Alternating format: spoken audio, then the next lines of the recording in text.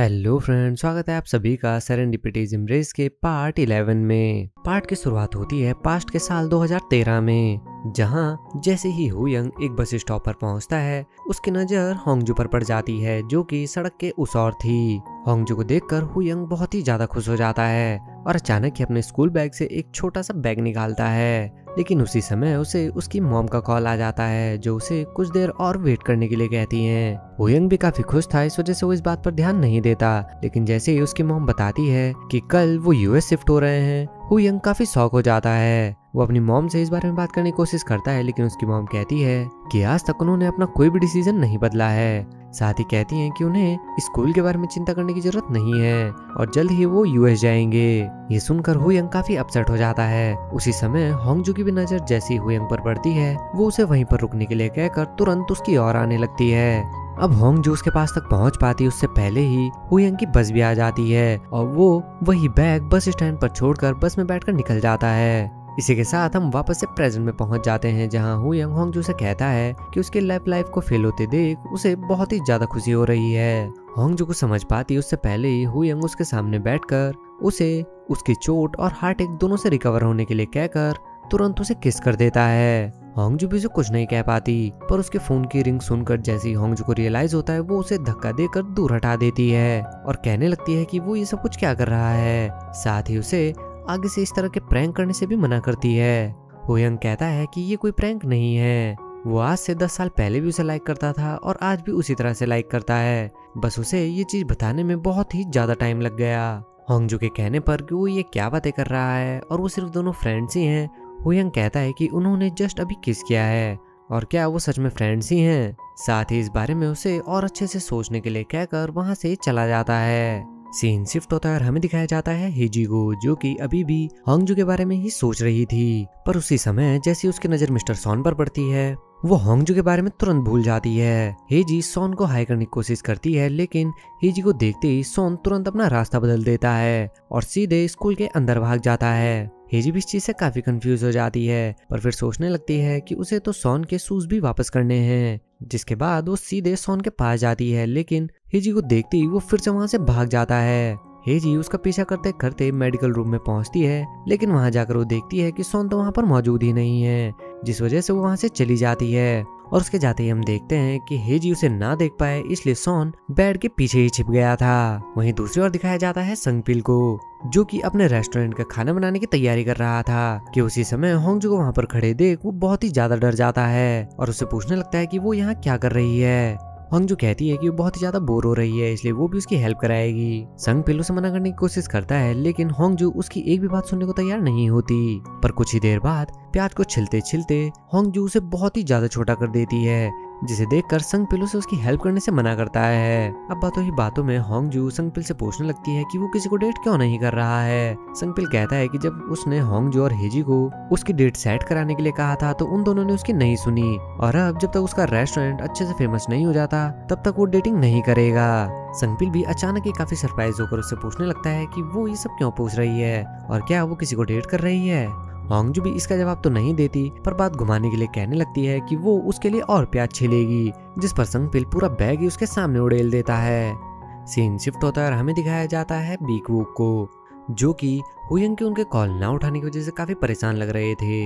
इसी बीच बाहर आकर जैसे ही वो उस गाड़ी को वहाँ पर खड़े देखते हैं, वो फिर से चिल्लाना शुरू कर देते हैं और उसकी ऑनर को कॉल करते हैं। उसी समय मिस बे भी वहाँ पहुँच जाती है और असल में इस गाड़ी की ओनर मिस बे ही हैं। उनके इतने सारे एम्प्लॉयज़ को देखकर बी कुक उनसे प्यार से बात करने लगता है और कहने लगता है कि उन्होंने हज़ारों बार उन्हें मना कर दिया है कि गाड़ी यहाँ पर ना खड़ी करें, लेकिन वो फिर भी बार बार उनकी बिल्डिंग के सामने ही गाड़ी खड़ी कर देती हैं। पर तभी मिस बे कहने लगती है कि उन्होंने उनकी बिल्डिंग नहीं, बल्कि अपोजिट बिल्डिंग के सामने गाड़ी खड़ी करी है और अपोजिट बिल्डिंग के ओनर ने उन्हें ये करने के लिए अलाउ भी किया है, क्योंकि वो उनकी तरह नैरो माइंडेड नहीं है। ये सुनते ही बी कुक और इरिटेट हो जाता है। कुछ ही देर बाद भी को उनसे पूछने लगता है कि कहीं वो ये सब इस वजह से तो नहीं कर रही हैं, क्योंकि वो उनका फ़र्स्ट लव है और इतना सुनते ही मिसबे उन पर हंसना शुरू कर देती है और कहने लगती है कि क्या वो उनके बारे में ऐसा सोचता है। साथ ही कहती है कि पहले की बात कुछ और थी। उस टाइम वो क्यूट और यंग दोनों थे, लेकिन इस समय वो सिर्फ़ एक पथेटिक है और ये कहकर वहाँ से चली जाती है। दूसरी ओर दिखाया जाता है हुयंग को, जो कि घर में बर्तन धोते हुए भी वही सब कुछ याद करके बहुत ही ज़्यादा खुश हो रहा था। उसी समय बीकूक भी वहाँ पहुँच जाता है। जो उसे खुश देखकर इसका रीजन पूछने लगता है। इसी बीच, बिग वो कहता है कि उसने उसका कॉन्ट्रैक्ट बढ़ाने की कोशिश करी, लेकिन हेड ऑफ़िस ने ऐसा मना कर दिया है। साथ ही कहने लगता है कि उसे ये डील फाइनल करने के लिए यूएस चले जाना चाहिए और ये डील खत्म करते ही वापस आ जाना चाहिए। वो यंग पूछने लगता है कि इस समय कितना टाइम लग सकता है। बिग वो के कहने पर कि इसमें डेढ़ से दो महीने लग जाएँगे। हुयंग कहता है कि इसी वजह से वो वहाँ पर नहीं जाना चाहता। ये सुनते ही बी कुक उसके ऊपर चिल्लाने लगता है कि क्या वो होंगजू की वजह से नहीं जा रहा है और उसका होंगजू के साथ कुछ नहीं होने वाला। और अकेला वही एक आदमी ऐसा नहीं है जिसका फ़र्स्ट लव था। उनकी बातें सुनकर हुयंग भी कंफ्यूज हो जाता है कि आखिर इन्हें क्या हुआ। इसी बीच सीन शिफ्ट होता है हेजी पर, जो कि सोन को ढूंढते हुए फिर से ऑफ़िस में पहुँच गई थी। जहाँ पर एक और टीचर हेजी को बताता है कि सोन को वाइस प्रिंसिपल यानी उसी के फादर ने बुलाया है। उसी समय सोन भी वहाँ पहुँच जाता है और हेजी की स्माइल देखकर वो समझ जाता है कि अब वो नहीं बचने वाला, जिसके बाद हेजी उसे ग्राउंड में ले जाती है और कहने लगती है कि इतना ढूँढने के बाद भी वो सुबह से उसे नहीं मिल पाई। हेजी पूछने लगती है कि उसके फादर ने उसे क्यों बुलाया था? सोन कहता है कि वाइस प्रिंसिपल चाहते हैं कि इस वीक सभी टीचर्स हाइकिंग पर जाएँ।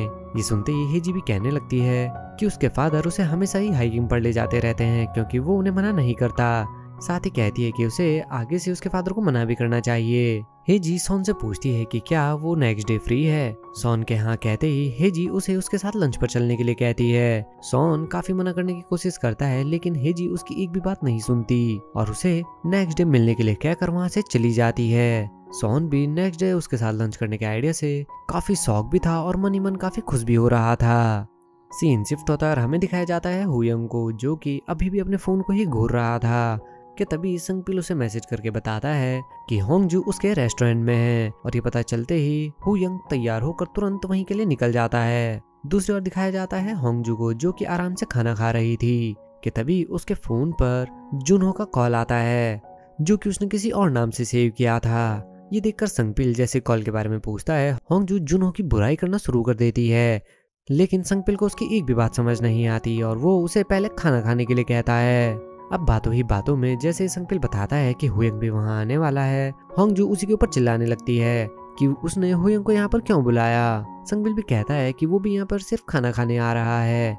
इतना सुनते ही होंगजू भी तुरंत अपना बैग और स्टिक्स उठाकर जल्दीबाजी में उसके रेस्टोरेंट से निकल जाती है। कुछ ही देर बाद हुयंग भी रेस्टोरेंट में पहुँचते ही होंगजू को देखने लगता है, लेकिन उसे वो कहीं नज़र नहीं आती, जिस पर संगपिल उसे बताता है कि उसके बारे में सुनते ही होंगजू तुरंत यहाँ से चली गई है। अब होयंग के उदास चेहरे को देखकर संगपिल अचानक ही कहता है कि अब उसे ही कुछ करना होगा। सीन शिफ्ट होता हमें दिखाया जाता है होंगजू को, जो कि एक बस स्टैंड पर आकर बैठ गई थी, जहाँ अचानक ही उसे भी पास्ट का वही दिन याद आने लगता है। जहाँ होंगजू अपना करियर गोल लेकर बैठी थी और जैसे ही उसकी नज़र हुयंग पर पड़ी थी, वो सीधे उसकी ओर चली गई थी। ये देखकर होंगजू भी कहने लगती है कि अब उसे पास्ट के सारी चीज़ें याद आने लगी हैं। वो अब इस बारे में सोच रही थी कि तभी जूनो भी नशे की हालत में उसे मैसेज करने लगता है।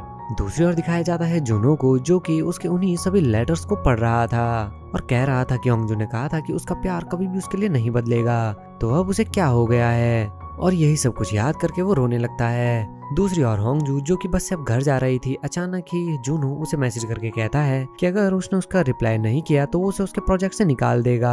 होंगजू भी कहने लगती है कि उसे लगता था कि ब्रेकअप रिलेशनशिप का ही पार्ट होता है, लेकिन अब सच में उसका रिलेशनशिप खत्म होने वाला है। साथ ही कहने लगती है कि वो बिना रिलेशनशिप के ही ठीक है, पर उसी समय अचानक ही उसे फिर से पास्ट का वही दिन याद आने लगता है, जब होंगजू पास्ट में अपने उसी करियर गोल को लेकर हुयंग के पास जा रही थी, लेकिन उसके वहाँ पहुँचने से पहले ही हुयंग बस में बैठकर वहाँ से निकल गया था। ये देखकर होंगजू काफ़ी अपसेट हो गई थी। इसी बीच पास्ट में होंगजू हुयंग की क्लास के बाहर खड़ी हुई काफ़ी ज़्यादा शौक लग रही थी। होंगजू को वहाँ पर खड़े देख संगपिल भी काफ़ी कंफ्यूज लग रहा था। पर जैसे ही वो अंदर जाता है, वो भी शौक रह जाता है, क्योंकि बोर्ड पर हुयंग की स्कूल छोड़कर यूएस जाने के बारे में लिखा हुआ था। होंगजू भी यही चीज़ पढ़कर काफ़ी ज़्यादा शौक हो गई थी और प्रेजेंट में सोच रही थी कि जिस रिलेशनशिप की ऐसी एंडिंग हो, उन्हें ऐसा रिलेशनशिप शुरू ही नहीं करना चाहिए। सीन शिफ्ट होता है नेक्स्ट मॉर्निंग और दिखाया जाता है होंगजू को, जो कि मेडिटेशन करते हुए अपने गुस्से को कंट्रोल करने की कोशिश कर रही थी और खुद को समझाने की कोशिश कर रही थी कि ये टाइम भी जल्द ही निकल जाएगा। लेकिन उसी समय उसकी डोरबेल बज जाती है और बाहर जाकर देखती है कि संगपिल उसका इंतज़ार कर रहा है। संगपिल होंगजू को उनके साथ ट्रिप पर चलने के लिए कहता है। होंगजू पहले इस बारे में सोचती है, लेकिन जैसे उसकी नज़र होयंग पर पड़ती है वो तुरंत मना कर देती है। संगपिल उसे कहने लगता है कि अपने रेस्टोरेंट में काम करने की वजह से पिछले दो साल से उसने एक भी दिन का ब्रेक नहीं लिया है और वो उन सब लोगों के साथ बाहर घूमने जाना चाहता है। तो क्या वो उसके साथ नहीं चलना चाहेगी? होंगजू अपनी चोट का बहाना बनाने की कोशिश करती है, लेकिन संगपिल कहता है कि उसने उसे कल देखा था जब वो दौड़ते हुए उसके रेस्टोरेंट से बाहर निकल गई थी। काफ़ी कहने के बाद भी जब होंगजू नहीं मानती तो संगपिल कहने लगता है कि वो पिछले दस साल से बहुत ही ज़्यादा काम कर रही है, और वो अपने घर, हेजी और उसके रेस्टोरेंट के अलावा कहीं नहीं जाती, और उसे भी अपने लिए कभी ऑफ़ लेना चाहिए, ताकि वो अपनी लाइफ को एंजॉय कर सके। ये सब सुनकर होंगजू थोड़ा सोचने पर मजबूर हो जाती है, और कहने लगती है कि वो दोनों ही ट्रिप पर जा सकते हैं, पर संगपिल कहता है कि सिर्फ़ वो दोनों नहीं जा रहे हैं, बल्कि हुयंग के अंकल बीकुक और हेजी भी ज्वाइन करने वाली है। ये सुनकर होंगजू का भी मन तो हो जाता है, लेकिन तभी अचानक ही वो संगपिल से कहने लगती है कि वो हुयंग के साथ नहीं जा सकती। उन दोनों के बीच चीज़ें थोड़ी ऑकवर्ड हैं। और इतना सुनते ही अचानक ही संगपिल हुयंग को चिल्लाकर कहने लगता है कि होंगजू को भी कुछ फील हुआ था। होंगजू भी संगपिल को तुरंत चुप करा देती है और उनके साथ जाने के लिए रेडी हो जाती है। पार्ट ट्वेल्व की शुरुआत होती है, जहाँ वो सभी ट्रिप के लिए निकल गए थे। गाड़ी में बैठकर भी हुयंग सिर्फ़ होंगजू को ही घुरे जा रहा था, जिससे होंगजू भी काफ़ी ज़्यादा अनकंफर्टेबल हो जाती है। वहीं दूसरी ओर बीकू की हालत इतनी ज़्यादा खराब हो जाती है कि वो किसी से भी बात करने को रेडी ही नहीं होता।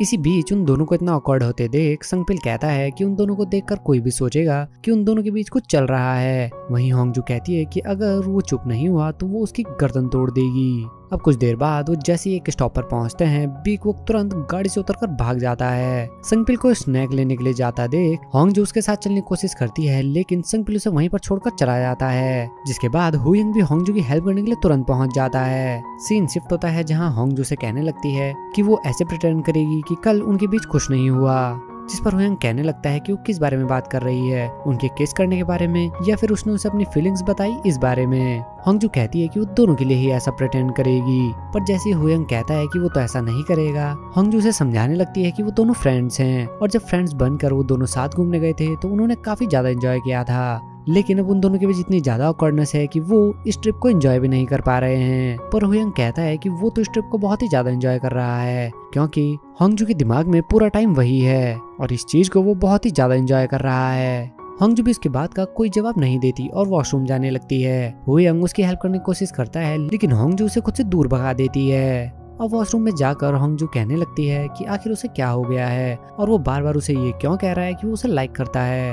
होंगजू डिसाइड करती है कि वो हुयंग की सारी बातों को इग्नोर करेगी। अब बाहर आते ही होंगजू संगपिल से कहने लगती है कि गाड़ी वो ड्राइव करेगी। ये सुनते ही संगपिल तुरंत जाकर बैठ जाता है। लेकिन हुयंग होंगजू से कहता है कि वो गाड़ी चलाने की कंडीशन में नहीं है और उसे पीछे बैठने के लिए कहकर खुद गाड़ी चलाने बैठ जाता है। पर होंगजू बैक सीट पर जाकर बैठ पाती उससे पहले ही बीकुक वहाँ आकर बैठ जाता है। और अब होंगजू को ना चाहते हुए भी हुयंग के साथ फ्रंट में बैठना पड़ता है। अब नेक्स्ट सीन में ही संगपिल और बिग वुक पीछे बैठते ही सो जाते हैं। वहीं उन दोनों के बीच एक बहुत ही ऑकवर्ड साइलेंस हो जाता है। उसी समय जूनो होंजू को मैसेज करता है और कल रात के अपने बिहेवियर के लिए उससे माफ़ी माँगता है। साथ ही सब कुछ बुला के प्रोजेक्ट के लिए एक फॉर्मल मीटिंग के लिए बुलाता है। अचानक से होंगजू के एक्सप्रेशन को चेंज देखकर हुयंग उससे कुछ खाने के लिए माँगता है। होंगजू उसे पैकेट देती है, लेकिन हुयंग उसे अपने हाथों से खिलाने के लिए कहता है। होंगजू के मना करने पर भी जब हुयंग नहीं मानता तो होंगजू से खिलाने के बदले खुद ही खा लेती है और कहती है कि उसमें अब लास्ट पीस बचा है और ना चाहते हुए भी हुयंग को अपने हाथों से ही उसे खाना पड़ता है। अब कुछ दूर जाते ही जैसे ही होंगजू की नज़र सी साइड पर पड़ती है, वो बहुत ही ज़्यादा एक्साइटेड हो जाती है और संगपिल और बीकुक को भी जगा देती है। अब नेक्स्ट सीन में ही वो सभी अपनी डेस्टिनेशन पर पहुँच चुके थे, जहाँ घर में जाते ही वो सभी काफ़ी एक्साइटेड हो जाते हैं। वहीं होंग जिस चीज़ से और भी ज़्यादा खुश हो जाती है कि वो घर से ही सी को देख सकती है। उसी समय हुयंग को कुछ सामान निकालते देख होंगजू के पूछने पर वो कहता है कि संगपिल ने डिनर के लिए कुछ ग्रेडियंट्स पैक किए हैं और वो उन्हें ही निकाल रहा है। वहीं दूसरी ओर दिखाया जाता है संगपिल और बीकुक को, जो कि फिशिंग करने के लिए सी साइड पर पहुँच चुके थे। इधर होंग जू हुयंग से कहने लगती है कि वो यहाँ पर एंजॉय करने के लिए काफ़ी ज़्यादा एक्साइटेड लग रहा है, और अगर वो वापस कोरिया ना आ पाता तो उसका क्या होता? हुयंग उसकी बात का कोई जवाब नहीं देता। हंगजू कहती है कि यहाँ का काम वो संभाल लेगी और उसे भी उन दोनों के पास जाने के लिए कहती है। पर तभी हुयंग उसका हाथ पकड़ लेता है और कहता है कि वो दोनों इस काम को साथ में निपटा कर साथ में उन्हें ज्वाइन करेंगे। हुयंग के हाथ पकड़ते ही होंगजू काफ़ी एम्बेरस हो जाती है और उसे कहकर चली जाती है कि अब उसे सारा काम खुद ही करना पड़ेगा। हुयंग भी सबकी वजह से मन ही मन खुश होने लगता है।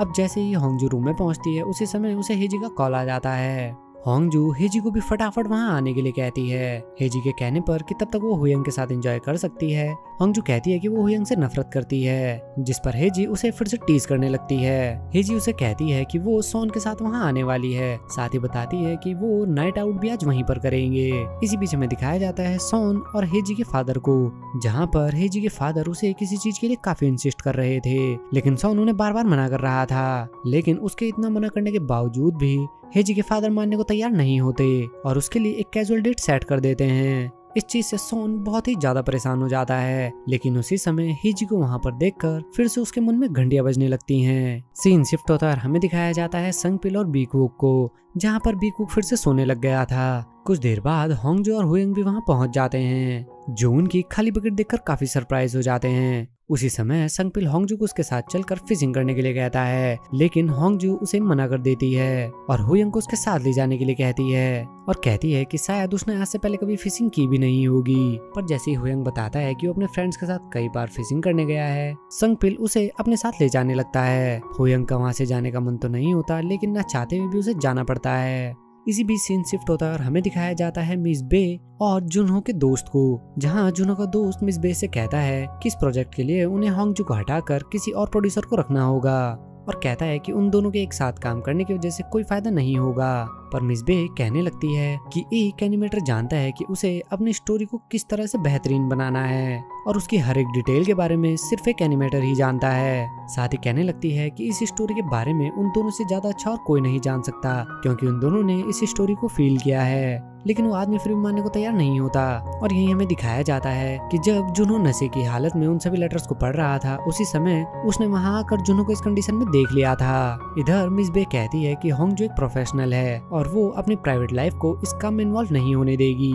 पर वो आदमी कहता है कि होंग जो प्रोफेशनल है, लेकिन उसका राइटर प्रोफेशनल नहीं है और वो ये सब हैंडल नहीं कर पाएगा। तभी मिस भी किसी चीज़ पर एग्री होती है। इसी बीच दिखाया जाता है होंगजू को, जिसे अचानक ही मिस बे का कॉल आता है और वो कहती हैं कि नेक्स्ट वीक से उसे बांग जुनो के स्टूडियो में जाकर काम करना होगा, ताकि वो एक साथ काम करके अच्छे स्टैंडिंग के साथ स्क्रिप्ट को और भी ज़्यादा बेहतरीन बना सके, क्योंकि अगले एक नेक्स्ट मंथ में उन्हें इस चीज़ का प्रोडक्शन करना है। होंगजू उन्हें समझाने की काफ़ी कोशिश करती है, लेकिन मिसबे उसकी एक भी बात नहीं सुनती, और इस चीज़ से होंगजू अब बहुत ही ज़्यादा परेशान हो जाती है। सीन शिफ्ट होता है और हमें दिखाया जाता है उन दोनों को, जहाँ संगपिल इस चीज़ से काफ़ी हैरान था कि हुयंग एक के बाद एक फिस्ट पकड़े ही जा रहा है। संगपिल के पूछने पर हुयंग कहता है कि उसने एक बार अपने क्लाइंट को फ़िश पकड़ते हुए देखा था। साथ ही संगपिल उसकी तारीफ़ करने लगता है और कहने लगता है कि वो तो हर चीज़ में परफेक्ट है। अचानक ही संगपिल पूछने लगता है कि क्या यूएस जाकर कभी उसकी मॉम ने उससे पूछा है कि वो क्या करना चाहता है? जिस पर हुयंगी पूछने लगता है कि जब उसने रेस्टोरेंट स्टार्ट किया तो उसकी मॉम ने क्या कहा? संगपिल कहता है कि उसकी मॉम को उससे ज़्यादा एक्सपेक्टेशन नहीं थी। जिस पर हुयंग भी कहता है कि उसकी मॉम ने भी कभी उससे कोई एक्सपेक्टेशन नहीं रखी। बात करते हुए भी हुयंग पूरा टाइम से फोंगजू को ही देख रहा था। जिसे वो वहाँ पर बैठी हुई नज़र नहीं आ रही थी। अब वो दोनों बात कर ही रहे थे कि उसी समय संगपिल की नज़र होंगजू पर पड़ती है, जो कि घूमते घूमते सी साइड पर पहुँच गई थी। संगपिल उसे चिल्लाकर कहने लगता है कि जल्द ही टाइड आने वाला है और जल्द से उसे वापस आने के लिए कहता है। पर जब होंगजू को उसकी आवाज़ नहीं आती तो हुयंग फिशिंग बीच में छोड़कर उसके पास जाने लगता है। अब उधर जैसे ही होंगजू सी साइड पे पहुँचती है उसकी नज़र एक सी क्यूकम्बर पर पड़ जाती है, जिसे निकालने के चक्कर में वो बस गिरने ही लगती है, लेकिन उसी समय हुयंग वहाँ पर आकर उसे बचा लेता है। हुयंग होंगजू को बताता है कि जल्दी यहाँ पर टाइड आने वाला है और उन्हें यहाँ से जाना चाहिए। पर होंगजू उसे भी सी क्यूकम्बर निकालने के लिए कहने लगती है हुयंग कहता है कि उनके पास काफ़ी सारी फ़ीस हैं और उन्हें इस चीज़ की ज़रूरत नहीं है, जिस पर होंगजू उससे काम कराने के लिए उसे कहने लगती है कि शायद उसे सी क्यूकम्बर निकालने में डर लग रहा है। और इतना सुनते ही हुयंग को ना चाहते हुए भी होंगजू के लिए उस सी क्यूकम्बर निकालना पड़ता है। हुयंग के उसे निकालते ही होंगजू बहुत ही ज़्यादा खुश हो जाती है। सीन शिफ्ट होता है हमें दिखाया जाता है हेजी और सोन को, जहाँ वो दोनों भी उसी जगह के लिए निकल गए थे। कुछ दूर चलते ही हेजी सोन से कहने लगती है कि वो दोनों पहली बार इस तरीके से घूमने गए हैं। सोन के कहने पर भी वो दोनों ट्रैकिंग के लिए भी गए थे। हेजी कहने लगती है कि उस दिन तो वो अच्छे से तैयार होकर भी नहीं आई थी। पर जैसे ही सोन कहता है कि उससे कोई फ़र्क नहीं पड़ता, वो हमेशा बहुत ही ज़्यादा सुंदर लगती है। हेजी काफ़ी शर्मा जाती है। उसी समय हेजी को उसकी सिस्टर का कॉल भी आता है। हेजी अपने सिस्टर से कहने लगती है कि वो होंगजू के साथ बाहर घूमने आई है, लेकिन तभी अचानक ही हेजी के एक्सप्रेशन थोड़ा चेंज हो जाते हैं। जब उसकी सिस्टर उससे सोन की फ़ोटोज़ मांगने लगती है, ये सुनकर हेजी काफ़ी सरप्राइज़ हो जाती है। अब कॉल कट करते ही जैसे ही वो सोन से पूछने लगती है कि क्या वो उसकी बहन के साथ ब्लाइंड डेट पर जाने वाला है? सोन बहुत ही शौक हो जाता है और उसके किसी बात का कोई जवाब नहीं दे पाता। हेजी भी इस चीज़ की वजह से बहुत ही ज़्यादा अपसेट हो जाती है। दूसरी ओर दिखाया जाता है होंगजू और हुयंग को जहाँ होंगजू ने हुयंग को सी क्लैम्स पकड़ने की ड्यूटी पर लगा दिया था। हुयंग भी होंगजू के लिए कई सारी चीज़ें पकड़ने लगता है। होंगजू हुयंग को वापस चलने के लिए कहती है, पर हुयंग कहता है कि उसे एक लॉन्ग लेग ऑक्टोपस चाहिए था, और जब तक वो होंगजू के लिए उसे नहीं पकड़ेगा, तब तक वो वापस नहीं जाएगा। वो दोनों ही एक दूसरे के साथ काफ़ी ज़्यादा एंजॉय करने लगते हैं। अब काफ़ी देर कोशिश करने के बाद फाइनली हुयंग को एक ऑक्टोपस दिख जाता है, जिसे देखते ही होंगजू कहने लगती है कि वो खुद उसे पकड़ेगी। लेकिन जब उससे वो नहीं निकलता तो हुयंग भी उसकी हेल्प करने लगता है, और ऑक्टोपस को बाहर निकालने के चक्कर में होंगजू हुयंग के ऊपर ही गिर जाती है, और उसके बहुत ही ज़्यादा नज़दीक आ जाती है। हुयंग को अपने इतने करीब देखकर होंगजू की हार्ट बीट काफ़ी बढ़ जाती है, और वो उसे किस ना कर दे, इसलिए वो हुयंग को खुद से दूर कर देती है। उसके रिएक्शन को देख कर हुयंग भी कहने लगता है की शायद वो उसे अभी किस करने वाली थी, पर होंगजू उसे कुछ नहीं कहती। अगले ही पल जैसे ही हुयंग होंगजू से उसकी कैब के बारे में पूछता है, जिसमें उन्होंने वो सारी चीज़ें इकट्ठे की थी। होंगजू भी उसे इधर उधर ढूँढने लगती है और ये रियलाइज़ होती है कि उसकी कैब बह गई है। वो बिना कहे चुपचाप वहाँ से जाने लगती है। हुयंग भी उस पर चिल्लाने लगता है और उसे सारी चीज़ें वापस लाने के लिए कहता है। अब सीन शिफ्ट होता है हेजी पर, जो कि बहुत ही गुस्से में गार्लिक को कूट रही थी। उसी समय हुयंग और होंगजू भी जैसे वहाँ पहुँचते हैं, वो भी कमरे का एटमोसफेयर समझ जाते हैं। संगपिल हेजी को रुकने के लिए कहता है, लेकिन वो रुकने को तैयार नहीं होती।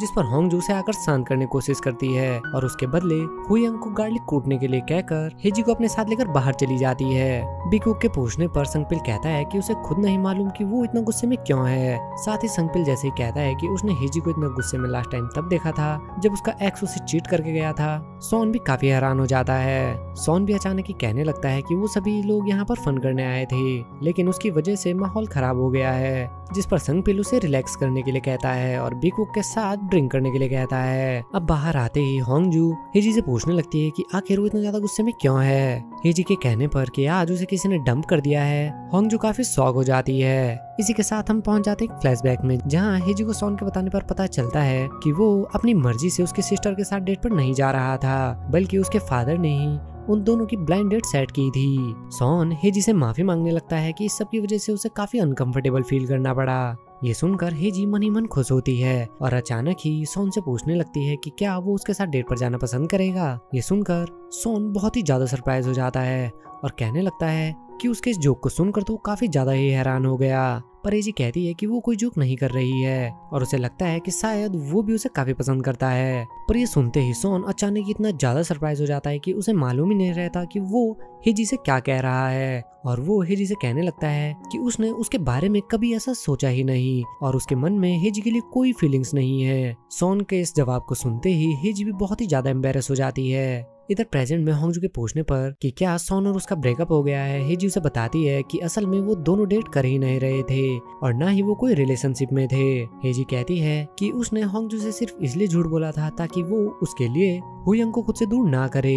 अब होंगजू के एक्सप्रेशन को चेंज होते देख, हेजी उसे गले लगाकर कहने लगती है कि हुयंग से ज़्यादा इम्पोर्टेंट उसके लिए होंगजू है। अब कुछ ही देर बाद जैसे ही खाना रेडी होता है, वो दोनों भी अंदर पहुँच जाते हैं। जहाँ हेजी और सोन के बीच एक ऑकवर्ड साइलेंस था। यहीं पर होंगजू और हेजी दोनों हेजी की वही बात याद करने लगते हैं, जब हेजी ने कहा था कि शायद उसके इस डिसीज़न से उनकी सारी पुरानी मेमोरीज चेंज हो सकती है। लेकिन इसके बावजूद भी वो इस चीज़ को एक मौका देना चाहती है, जिसके बाद हेजी फिर से सोन के पास जाकर बैठ जाती है। वहीं हुयंग, होंगजू को उसके पास आकर बैठने के लिए कहता है। होंगजू भी मन ही मन हेजी की उसी बात को याद कर रही थी कि शायद इस चीज़ की वजह से उनका रिलेशनशिप चेंज हो सकता है, जिसके बाद वो सभी खाने से पहले एंजॉय करते हुए सेल्फी लेने लगते हैं। इसी बीच सीन पास्ट में शिफ्ट होता है और हमें दिखाया जाता है होंगजू को, जो कि टीवी पर कार्टून देख रही थी, कि तभी उसकी मॉम रेडी होकर बाहर आती है। होंगजू उनके साथ चलने के लिए कहती है, लेकिन उसकी मॉम उसे साथ ले जाने से मना कर देती है। अब उसके मोम के घर से बाहर आते ही होंगजू भी उनके साथ जाने के लिए रोते रोते बाहर आ जाती है, लेकिन उसके आने से पहले ही उसकी मोम जा चुकी थी। ये देखकर होंगजू रोने लगती है। उसी समय उसकी नज़र एक प्रेग्नेंट लेडी पर पड़ती है। होंगजू उसे आंट बुलाकर कहने लगती है कि उसका कज़न कब आएगा? वो लेडी भी होंगजू को यह कहकर वहाँ से जाने लगती है कि उसका कज़न बाद में आएगा। होंगजू उनके पीछे भी जाने की कोशिश करती है, लेकिन वो भी बिना कोई जवाब दिए वहाँ से चली जाती है। इसी बीच वही सीन भी दिखाया जाता है, जब जूनो को जाते हुए देखकर होंगजू एयरपोर्ट पर उसके पीछे पहुँच गई थी।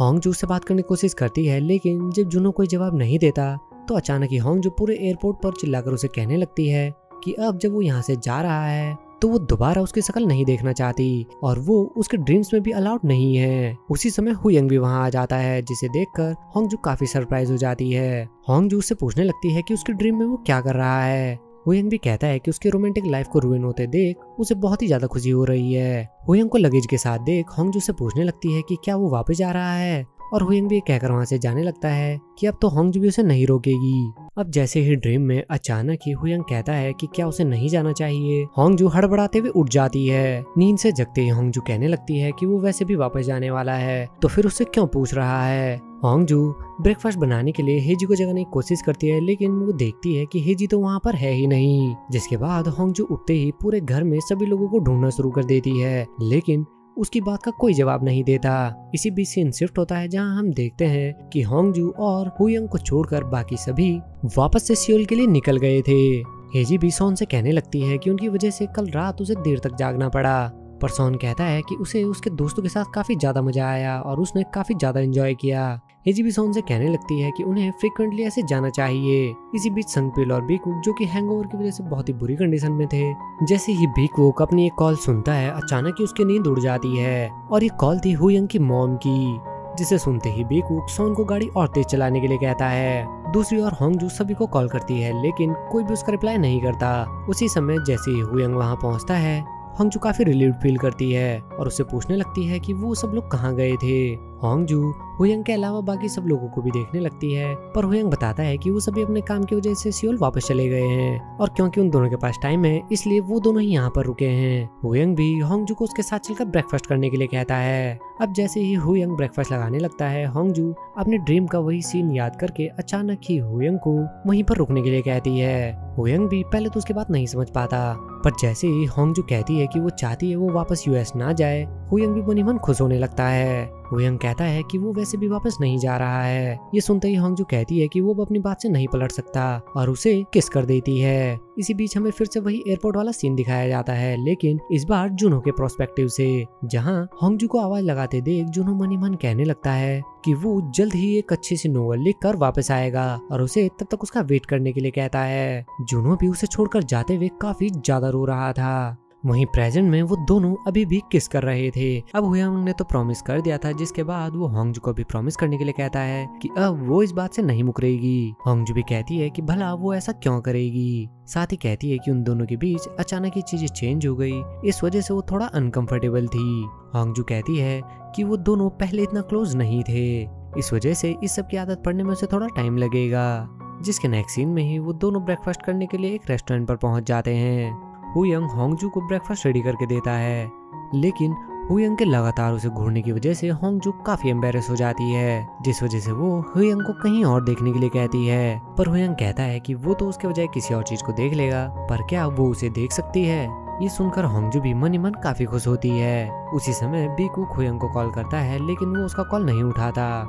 वहीं दूसरी ओर, बीकूक भी उसके कॉल न उठाने की वजह से काफ़ी परेशान लग रहा था। अब नेक्स्ट सीन में ही वो दोनों भी घर के लिए निकल जाते हैं और कुछ ही देर में जैसे ही वो दोनों घर पहुँचते हैं होंगजू को जाते देख हुयंग पूछने लगता है कि वो डिनर में क्या खाना पसंद करेगी। होंगजू के कहने पर कि उसे भूख नहीं है हुयंग कहता है कि पर वो तो खाना चाहता है। होंगजू के कहने पर कि अगर ऐसा है तो वो उसे अच्छे रेस्टोरेंट की लिस्ट भेज देगी। हुयंग अचानक ही उसका हाथ पकड़कर कहने लगता है कि क्या उसे ये लगता है कि वो सिर्फ़ खाना खाने की वजह से डिनर पर जाना चाहता है? वो दोनों भी एक दूसरे को घूर ही रहे थे कि उसी समय बीकुक भी वहाँ पहुँच जाता है और उन दोनों को कंटिन्यू करने के लिए कहता है। अब नेक्स्ट सीन में घर में आते ही बीकुक हुयंग से कहने लगता है कि उसकी विश पूरी हो गई है।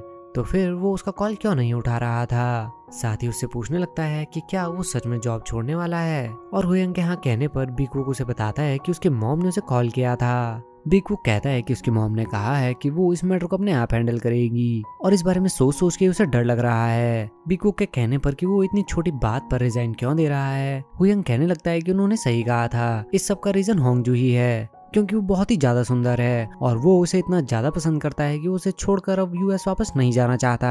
ये सुनकर बीकुक भी हैरान हो जाता है और कहने लगता है कि वो हुयंग नहीं हो सकता। बीकुक कहता है कि वो तो उस हुयंग को जानता है जो कि बहुत ही ज़्यादा रूड और इनसेंसिटिव है।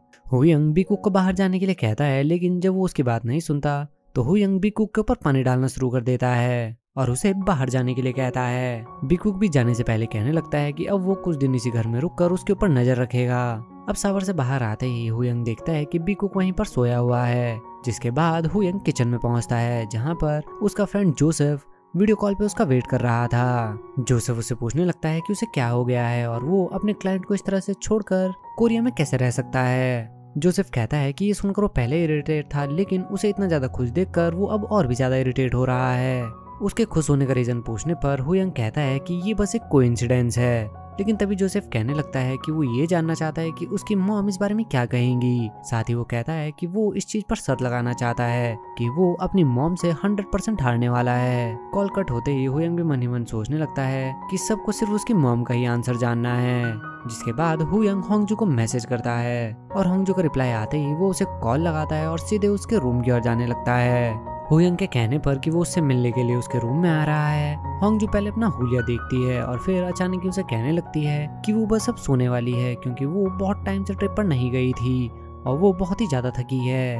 अब हुयंग भी पहले तो उसकी बात मान लेता है, फिर अचानक उसे पूछने लगता है कि क्या उसने कभी उसे आई लाइक यू कहा है? ये सुनकर होंगजू बहुत ही ज़्यादा शर्मा जाती है और कहने लगती है कि वो ये बात उसे पहले ही बता चुका है लेकिन इसके बाद भी हुयंग बार बार उसे यही कहने लगता है, जिससे होंगजू इतना ज़्यादा शर्मा जाती है कि वो उसे गुड नाइट कहकर फ़ोन कट कर देती है। सीन शिफ्ट होता है नेक्स्ट मॉर्निंग और दिखाया जाता है हुयंग को, जो कि बैठकर अपना काम कर रहा था। कुछ ही देर बाद कुक भी वहाँ आकर हुयंग से पूछने लगता है कि क्या वो रात भर से जाग रहा है? और कहता है कि या तो अपनी मॉम की वजह से काफ़ी ज़्यादा डरा हुआ है, या फिर वो बहुत ही ज़्यादा एक्साइटेड है। जिसके बाद बी कुक हुयंग को होंगजू को भी ब्रेकफास्ट पर बुलाने के लिए कहता है। हुयंग होंगजू को बुलाने के लिए कॉल करता है, लेकिन उसे पता चलता है कि होंगजू तो पहले ही हेजी के साथ शॉपिंग करने के लिए निकल गई है। ये सुनकर हुयंग भी थोड़ा सरप्राइज़ होता है और कहता है कि वो अभी शॉपिंग के लिए नहीं जा सकती, क्योंकि वो पूरी तरह से रिकवर नहीं हुई है। पर होंगजू से शाम को मिलने के लिए कहकर फ़ोन कट कर देती है। अब होंगजू के पूछने पर कि आज वो कहाँ कहाँ जाएँगे? हेजी कहती है कि आज की उनकी कोई भी प्लान डेस्टिनेशन नहीं है। जिसके बाद हेजी उसे एक शॉप पर ले जाती है, जहाँ से वो सोन के लिए क्लोथ्स खरीदने वाली थी। ये देखकर होंगजू भी काफ़ी सरप्राइज़ हो जाती है। अब नेक्स्ट सीन में वो दोनों एक ब्यूटी पार्लर में पहुँच जाते हैं, जहाँ होंगजू हुयंग को जैसी मैसेज करने लगती है, उसी समय हुयंग का कॉल आ जाता है। हुयंग के पूछने पर कि क्या वो अब फ्री हो चुकी है? हंगजू कहती है कि वो अभी हेजी के साथ ब्यूटी पार्लर आई है। वहीं हेजी भी चिल्लाकर हुयंग से कहने लगती है कि आज पूरा दिन हंगजू उसी के साथ रहने वाली है।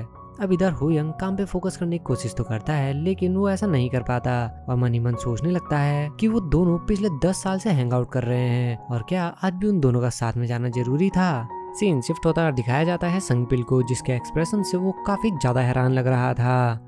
और ऐसा इसलिए था क्योंकि वो दोनों ही ड्रिंक करने के लिए उसी के रेस्टोरेंट पर पहुँच गए थे, जहाँ नशे की हालत में वो दोनों ही एक दूसरे की तारीफें करना शुरू कर देते हैं और संगपिल से म्यूज़िक बजवा कर रेस्टोरेंट में ही डांस करने लगते हैं। संगपिल भी होंगजू से पूछने लगता है कि क्या उसने हुयंग को इस बारे में नहीं बताया? जिस पर हेजी कहती है कि ये एक गर्ल्स नाइट है और आज वो हुयंग को नहीं बुलाएँगे। इस बीच जैसे ही संगपिल जूनो को लेकर कुछ पूछने की कोशिश करता है, होंगजू से धक्का मार कर नीचे गिरा देती है। जूनो का नाम सुनते ही हेजी के भी एक्सप्रेशन तुरंत चेंज हो जाते हैं और वो होंगजू से पूछने लगती है कि आज इतने अच्छे दिन पर संगपिल ने जुनो की बात क्यों करी? जिस पर होंगजू भी उसे कहने लगती है कि उसने गलत सुना है। वहीं दूसरी ओर दिखाया जाता है हुयंग को, जो कि अभी भी होंगजू का ही वेट कर रहा था। उसे होंगजू का मैसेज तो नहीं आता, लेकिन संगपिल उनकी फ़ोटो सेंड करके उसे कहता है कि उन दोनों की पार्टी अभी तक खत्म नहीं हुई है। अब नेक्स्ट सीन में दिखाया जाता है हुयंग को जो बाहर खड़े होकर होंगजू का वेट करना शुरू कर देता है। कुछ ही देर बाद होंगजू भी बीकुक के साथ वहाँ पहुँच जाती है, जो कि बहुत ही ज़्यादा नशे में था। हुयंग के पूछने पर होंगजू बताती है कि बीकुक उसे नशे की हालत में रास्ते में मिले।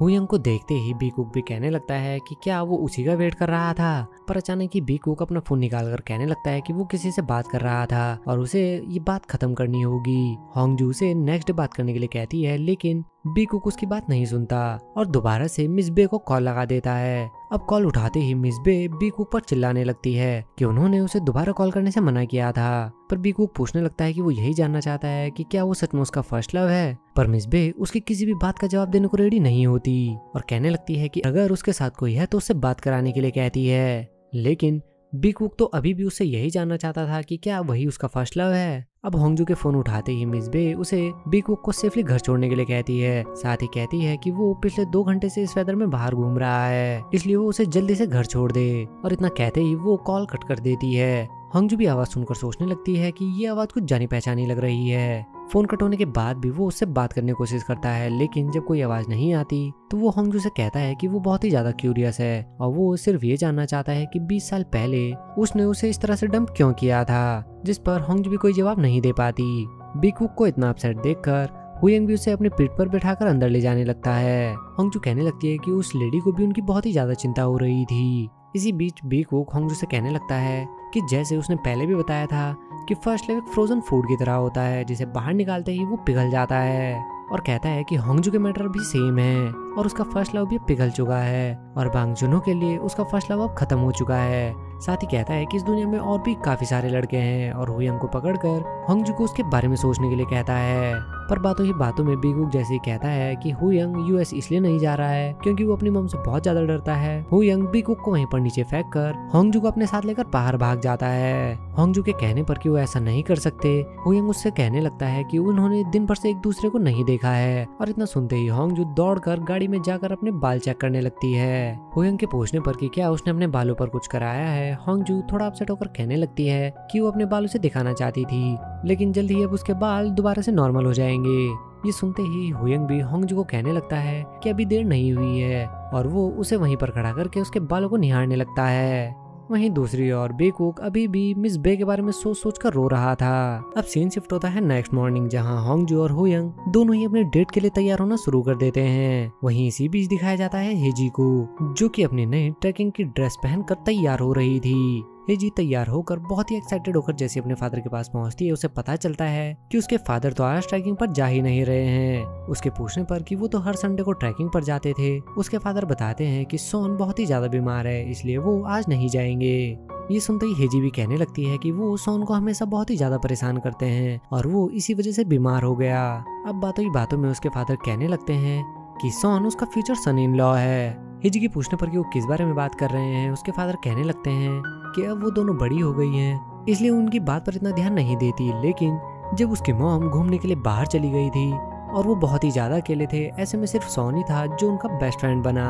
साथ ही वो हिजी से कहने लगते हैं कि उन्हें सॉन्ग को किस दिन डिनर पर बुलाना चाहिए, जिस दिन उसकी बड़ी बहन का ऑफ़ हो। ये बात सुनते ही हेजी भी मुस्कुराते हुए कहने लगती है कि वैसे वो भी यहाँ पर मौजूद है। साथ ही कहती है कि वो और मिस्टर सोन बहुत ही ज़्यादा क्लोज हैं। इतना सुनते ही उसके फादर उस पर ज़ोर ज़ोर से हंसना शुरू कर देते हैं और कहने लगते हैं कि वो किस बारे में बात कर रही है। और शायद वो इस चीज़ से बहुत ही ज़्यादा जेलस फील कर रही है कि वो मिस्टर सोन की डेटिंग उसकी बड़ी बहन के साथ फिक्स कर रहे हैं। उन्हें इतना ज़्यादा हँसते हुए देखकर हेजी भी उन्हें कोई जवाब तो नहीं दे पाती, लेकिन वो बहुत ही ज़्यादा इरिटेट हो जाती है और वापस से अपने रूम में चली जाती है। अब सीन शिफ्ट होता है जहाँ वो दोनों ही बड़े एक्साइटेड होकर जैसे ही तैयार होकर बाहर आते हैं।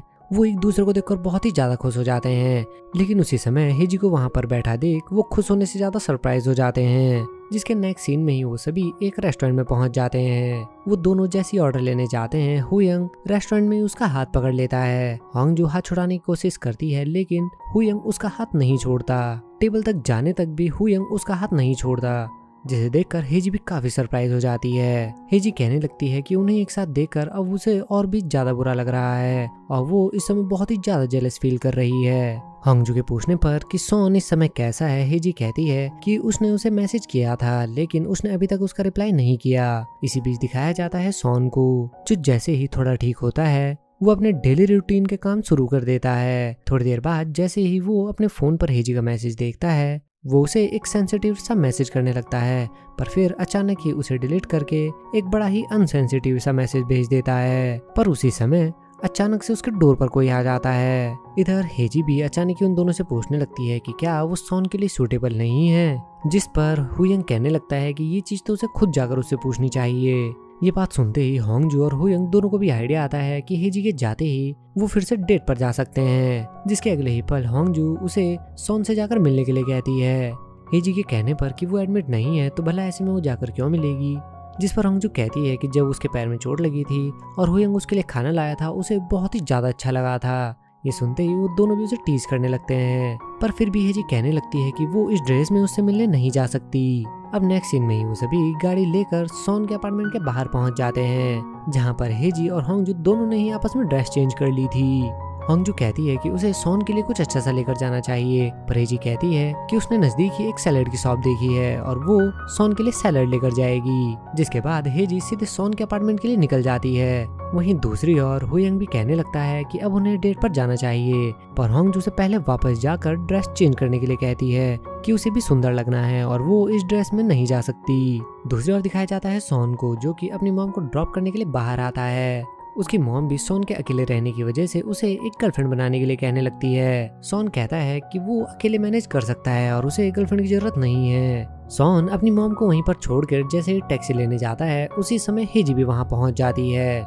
जो आते ही सोन से उसकी तबीयत के बारे में पूछने लगती है और उसे सैलेड भी देने लगती है, पर उसी समय सोन की मॉम भी वहाँ पहुँच जाती है।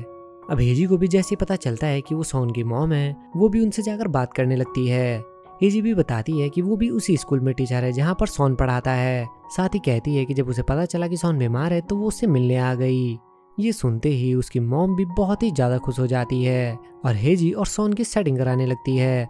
वो हेजी से पूछने लगती है कि उसकी एज क्या है, साथ ही उसकी शादी के बारे में भी पूछने लगती है। इस चीज़ से सोन भी थोड़ा इरिटेट होकर अपनी मॉम को ज़बरदस्ती गाड़ी में बैठाने लगता है। पर फिर भी जब उसकी मॉम जाने को तैयार नहीं होती तो सोन अचानक ही कहता है कि हेजी का, उसके साथ कोई लेना देना नहीं है और जैसा वो सोच रही है, वैसा कुछ भी नहीं है। अब सोन तो ये कह देता है, लेकिन ये सुनकर हेजी थोड़ा बुरा फील करती है। वहीं सोन की मॉम भी हेजी से माफ़ी मांगने लगती है कि बिना जाने ही, न जाने उन्होंने हेजी से क्या क्या कह दिया। सोन भी अपनी मॉम की तरफ़ से हेजी से माफ़ी मांगने लगता है, लेकिन तबीयत खराब होने की वजह से जैसे वो नीचे गिरने लगता है हेजी उसे पकड़ लेती है। लेकिन सोन फिर से हेजी को खुद से पीछे कर देता है। अब इस चीज़ से हेजी को इतना ज़्यादा बुरा लगता है कि वो सोन को कहने लगती है कि उसे माफ़ी मांगने की ज़रूरत नहीं है।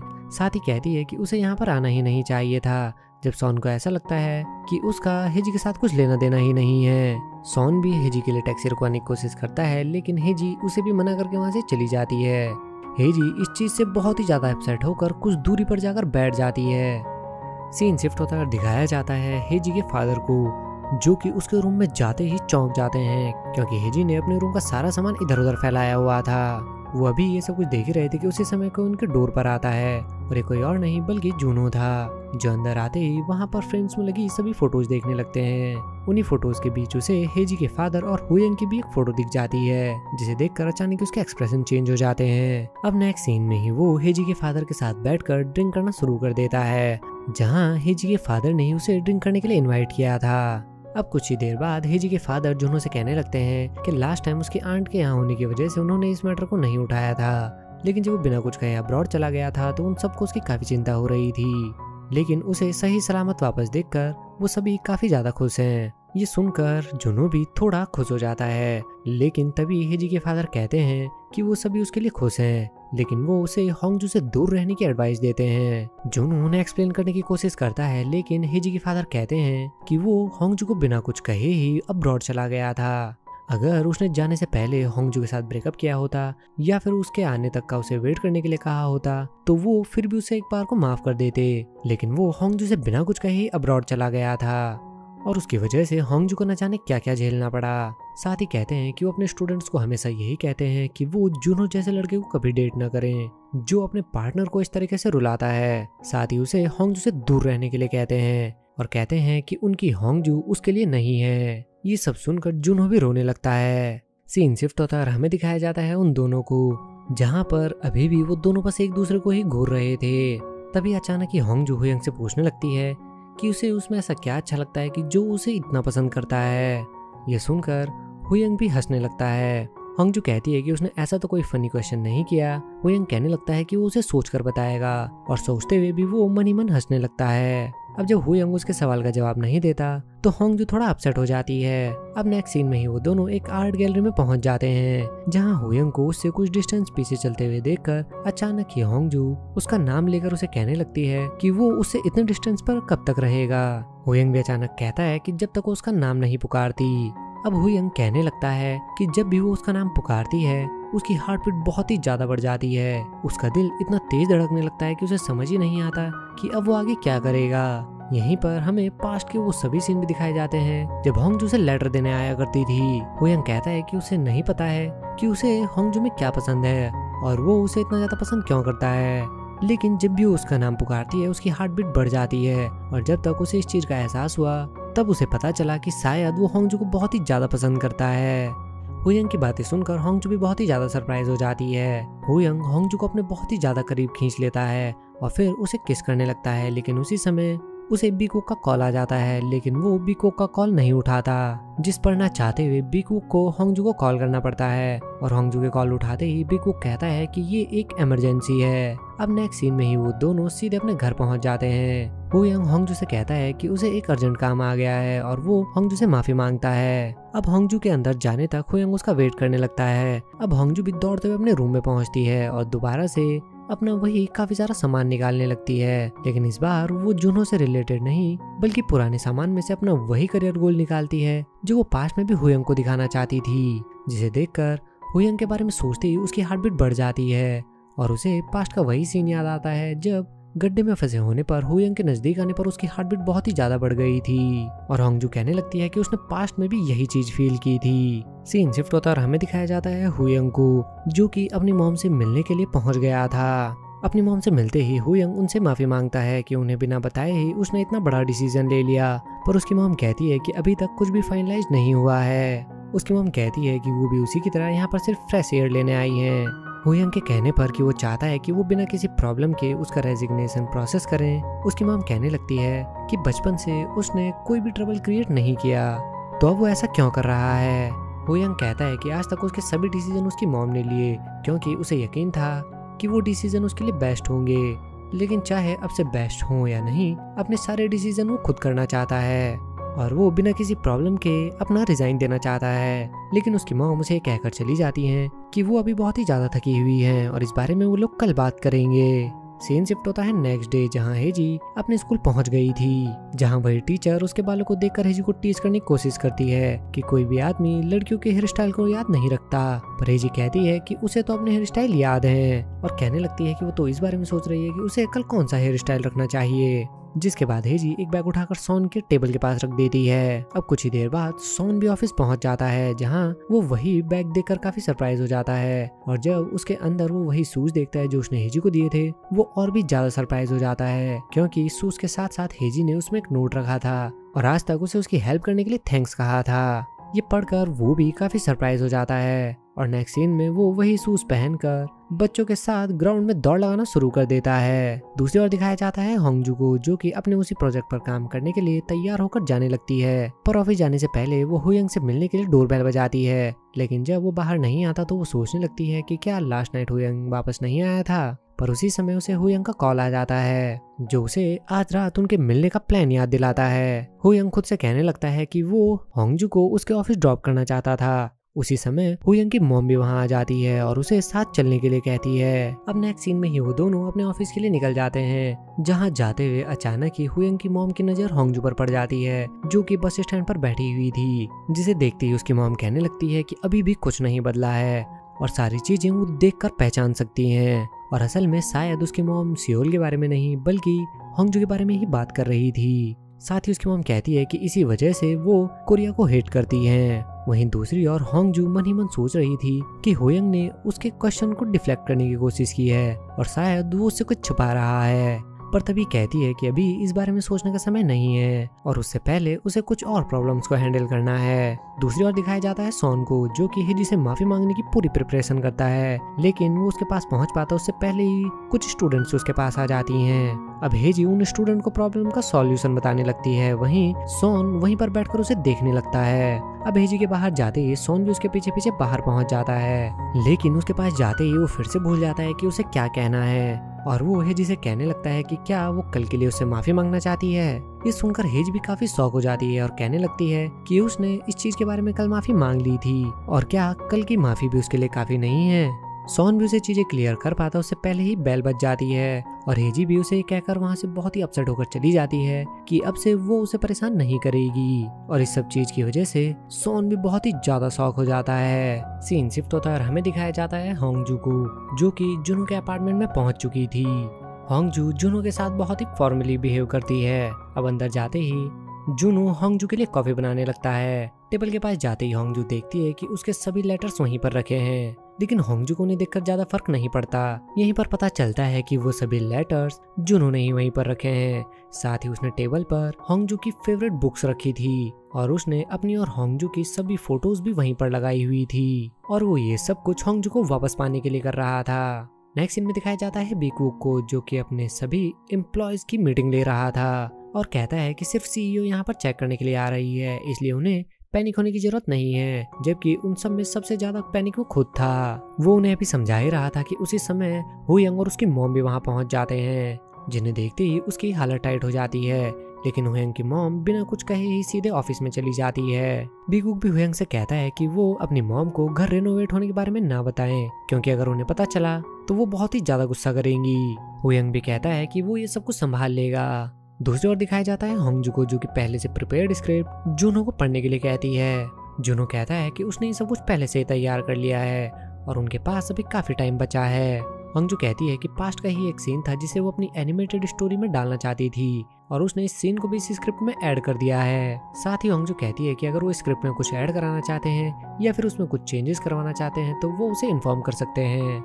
जुनू भी काफ़ी खुश हो रहा था, लेकिन तभी होंगजू कहती है कि उसने इस स्क्रिप्ट पर अपना काम पूरा कर दिया है, और अब वो इस प्रोजेक्ट पर आगे काम नहीं कर सकती, और वो इस प्रोजेक्ट को छोड़ रही है। ये सुनकर जुनू भी बहुत ही ज़्यादा शौक हो जाता है। वहीं दूसरी ओर दिखाया जाता है उन तीनों को, जहाँ हुयंग की मोम अचानक ही बेकूक से उसी घर के बारे में बात करने लगती है। बेकूक कहता है कि वो घर अभी खाली नहीं है, और वहाँ पर उनका किराएदार है, जिस पर हुएँ की मोम उसे ऑफ़िस के नज़दीक कोई होटल ढूँढने के लिए कहती है। साथ ही कहती है कि वो कुछ टाइम अब कोरिया में ही रहने वाली है। बीकूक के पूछने पर कि वो यहाँ पर क्यों रहेगी, वो कहने लगती है कि वो कुछ टाइम के लिए कोरिया ब्रांच में इंस्पेक्शन के लिए आई है। ये सुनकर हुएंग भी कहने लगता है कि अगर ये सब कुछ उसकी वजह से कर रही है तो उनके ये सब कुछ करने के बाद भी उसका डिसीज़न चेंज नहीं होगा, जिस पर उसकी मोम कहती है कि डिसीज़न तो उनका भी चेंज नहीं होगा और वो अकेले यहाँ से वापस नहीं जाने वाली है। वहीं दूसरी ओर होंगजू भी वो स्क्रिप्ट उसे देकर वहाँ से जाने लगती है, पर तभी अचानक ही जुनू को पैनिक अटैक आने लगता है। होंगजू उससे इस बारे में पूछने की कोशिश करती है, लेकिन जुनू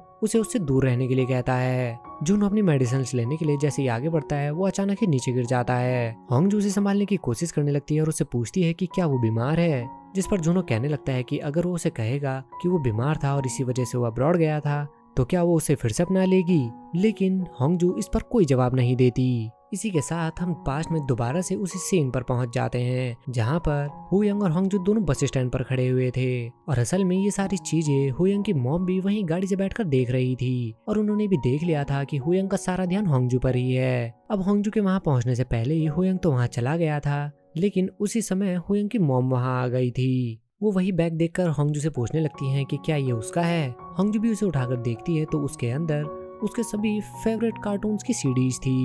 हंगजू कहने लगती है कि ये बैग उसका नहीं है, लेकिन ये सभी कार्टून्स उसके फेवरेट हैं। ये देखकर हुयंग की मॉम कहने लगती है कि उसे मालूम नहीं था कि हुयंग क्यूट लड़कियों के लिए ऐसा भी कर सकता है। होंगजू उनकी कोई बात नहीं समझ पा रही थी, जिसके बाद उसकी मॉम वो बैग होंगजू से वापस ले लेती है और होंगजू भी वो बैग वहाँ रखकर चली जाती है। पार्ट सिक्सटीन की शुरुआत में हमें वही सीन दिखाया जाता है, जहाँ जुनू को अचानक से पैनिक अटैक आने की वजह से वो नीचे गिर गया था। ये देखकर जैसे ही होंगजू उससे पूछने लगती है कि क्या उसकी तबीयत खराब है, जुनू कहने लगता है कि अगर उसे कहेगा कि वो बहुत ही ज़्यादा बीमार है और इसी वजह से उसे छोड़कर फॉरेन गया था तो क्या वो उसे वापस से अपना लेगी? पर होंगजू उसे कोई जवाब नहीं देती। पर तभी जुनू अचानक से उसे गले लगा लेता है और रोते हुए उसे कहने लगता है कि वो उस समय इतना ज़्यादा बीमार था कि नोवेल लिखते हुए भी उसके हाथ कांपते थे और वो एक शब्द भी नहीं लिख पाता था। साथ ही कहता है कि होंगजू को एयरपोर्ट पर रोते हुए इस तरह से छोड़कर जाने पर उसे उससे भी ज़्यादा बुरा लगा था। पर होंगजू फिर भी उसकी बात का कोई जवाब नहीं देती और उसे लाकर पानी देती है। होंगजू जैसे ही जाने लगती है, जुनू उसका हाथ पकड़कर कहने लगता है कि वो दोनों एक दूसरे को काफ़ी समय से जानते हैं और वो दोनों ही एक दूसरे को बहुत ज़्यादा पसंद भी करते हैं। साथ ही कहता है कि अलग होने के बाद भी वो उसके लिए वही फील करता है और उसे उम्मीद है कि होंगजू भी उसके लिए वही फील करती होगी, जिस पर होंगजू अपना हाथ छुटा कर उसे कहती है कि वो उसके फ्रेंड मिस्टर जू को कॉल करके यहाँ पर आने के लिए कह देगी, ताकि वो उसका ख्याल रख सकें। अब होंगजू को जाते देख अचानक ही जुनो कहने लगता है कि क्या सब कुछ जानने के बाद भी वो उसे इस तरह से छोड़कर चली जाएगी? और इतना सुनते ही होंगजू उसे कहने लगती है कि वो भी बहुत समय से इस चीज़ का आंसर जानना चाहती थी कि आखिर वो उसे छोड़कर क्यों गया। साथ ही कहती है कि उसके जाने के बाद पिछले तीन साल से वह रोज खुद से यही सवाल पूछती थी कि आखिर उसने कहाँ गलती करी और उसे ऐसा क्या नहीं करना चाहिए था। साथ ही कहती है कि उसके जाने की वजह से वो हमेशा ही खुद को ब्लेम करती थी कि शायद उसी में कुछ कमी है, जो कि लोग उसे इस तरह से छोड़कर चले जाते हैं। जुनू के पूछने पर होंगजू कहने लगती है कि वो उसे ज़रूर माफ़ कर देगी, क्योंकि उसके बताने पर उसके कई सारे क्वेश्चन के आंसर मिल चुके हैं। कि अब तक उसे छोड़कर जाने वालों के अपने खुद के कुछ रीजंस थे और इसमें उसकी कोई गलती नहीं थी। जूनू होंगजू को समझाने की कोशिश करता है, लेकिन तभी होंगजू से कहती है कि वो एक बात और क्लियर कर देना चाहती है कि वो किसी और को पसंद करती है। साथ ही कहती है कि उसके रीजन बताने के बाद से अब शायद वो उस आदमी को और भी ज़्यादा पसंद करने लगेगी और ये कहकर होंगजू वहाँ से चली जाती है। जूनू भी इस सब की वजह से बहुत ही ज़्यादा इमोशनल हो जाता है। दूसरी ओर दिखाया जाता है हुयंग को, जो कि अपनी मॉम की उसी बात से काफ़ी शौक लग रहा था, जब उसकी मॉम ने कहा था कि वो वापस तो यहाँ से अकेले नहीं जाने वाली हैं। ये सुनते ही हुयंग भी उन्हें कहने लगता है कि अगर वो सच में यही चाहती हैं तो वो भी उनके लिए ट्रबल क्रिएट करने में अपना हंड्रेड परसेंट देगा। और ये कहकर वहाँ से चला जाता है। बीकुक भी ये सुनकर काफ़ी ज़्यादा शौक हो जाता है, और उसकी मोम से कहने लगता है कि हुयंग अपनी हरकतों से आजकल उसे काफ़ी ज़्यादा सरप्राइज़ कर रहा है, और कहने लगता है कि क्या हुयंग अचानक से चेंज हुआ है? या वो हमेशा से ही अपनी पर्सनैलिटी को छुपा रहा था। हुयंग की मॉम भी उसकी बातों से काफ़ी ज़्यादा शौक लग रही थी, जिसके बाद हुयंग भी अपनी गाड़ी लेकर ये सब सोचते हुए निकल जाता है। दूसरी ओर दिखाया जाता है होंगजू को जो कि मिसबे के पास पहुंचकर उन्हें कह देती है कि वो इस प्रोजेक्ट से स्टेप डाउन कर रही है, और अब वो इस प्रोजेक्ट पर काम नहीं कर सकती। मिसबे उससे इस चीज़ का रीजन पूछती है, जिस पर होंगजू कहती है कि वो अपनी पर्सनल और प्रोफेशनल लाइफ दोनों को अलग नहीं रख पाएगी, और यही रीजन है कि वो इस प्रोजेक्ट पर अब काम नहीं कर सकती। मिस बी भी उसका रीजन सुनते ही तुरंत इस चीज़ के लिए एग्री हो जाती है और कहने लगती है कि वो उस इस चीज़ के लिए फोर्स नहीं कर सकती। लेकिन होंगजू के जाने से पहले वो एक फ़ाइल से उसे स्क्रिप्ट निकाल कर देती है। अब नेक्स्ट सीन में होंगजू वॉशरूम में जाकर उसी स्क्रिप्ट को देखने लगती है और असल में ये वही स्क्रिप्ट थी जिसे लेकर वो पहली बार मिस बे के पास इंटरव्यू देने के लिए आई थी। और पास्ट में होंगजू को इतना ज़्यादा एक्साइटेड देखकर और उसकी इसी स्क्रिप्ट की वजह से मिस बे ने उसे सिलेक्ट कर लिया था। और उन्होंने अभी तक उसके इस प्रपोजल को भी अपने पास ही रखा था। होंगजू भी ये याद करके मनी मन स्माइल करती है और फिर उस प्रपोजल को वहीं पर फेंक कर चली जाती है। अब नेक्स्ट सीन में दिखाया जाता है होंगजू को, जो कि खाने का काफ़ी सारा सामान लेकर टेबल के ऊपर ही लेटी हुई थी और बगल के टेबल पर बैठे हुए कुछ स्कूल स्टूडेंट्स को ही देख रही थी। उनकी बातें सुनकर होंगजू अचानक ही कहने लगती है कि वो लोग बहुत ही ज़्यादा लकी हैं। वो सुबह से शाम तक अपने फ्रेंड्स के साथ रह सकते हैं। और जब चाहे तब सो भी सकते हैं। उसकी बातें सुनकर एक लड़की जैसे ही उससे बात करने की कोशिश करती है, दूसरा लड़का कहता है कि उसे उससे बात नहीं करनी चाहिए और वो काफ़ी ज़्यादा वियर्ड लग रही है। ये सुनते ही होंग जो उस लड़के से पूछने लगती है कि वो उसे कहाँ से वियर्ड लग रही है और क्या वो सिर्फ़ इस वजह से वियर्ड है कि उसने एक बीमार आदमी से चिल्लाकर बात करी या फिर उसने एक अपॉर्चुनिटी को गवा दिया। और जैसे ही वो उन स्टूडेंट्स की ओर बढ़ती है, वो उससे डर कर वहाँ से भाग जाते हैं। अब होंगजू जैसे ही दोबारा से अपने टेबल पर लेटती है, उसी समय हुयंग भी वहाँ पहुँच जाता है, जिसे देखते ही होंगजू उसे वहीं पर रुकने के लिए कहती है और अगले ही पल दौड़ते हुए जाकर उसके गले लग जाती है। होंगजू कहने लगती है कि उसे आने में काफ़ी ज़्यादा लेट लगी, साथ ही कहने लगती है कि आज वो सब कुछ वही करेगी जो उसका मन कहेगा।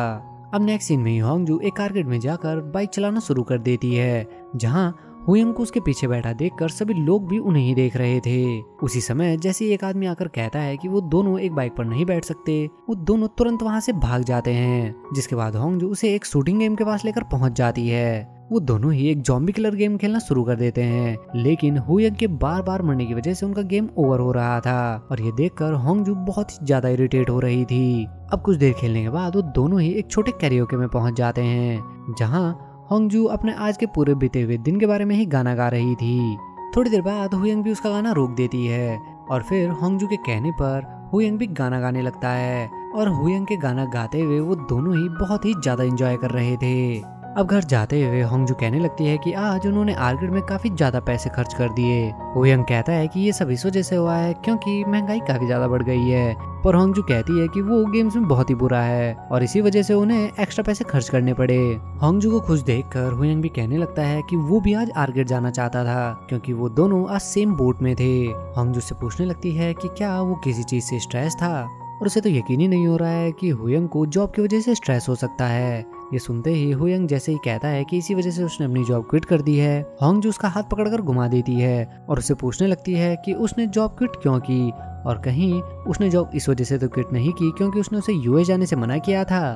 पर हुयंग कहता है कि उसे इस बारे में चिंता करने की ज़रूरत नहीं है और उसे सिर्फ़ उसके ऊपर भरोसा करने के लिए कहता है। होंगजू भी कहने लगती है कि आज से वो सिर्फ़ उसी के ऊपर भरोसा करेगी। सीन शिफ्ट होता है और हमें दिखाया जाता है होंगजू को जो कि अपने घर में बैठकर हेजी से ही बातें कर रही थी।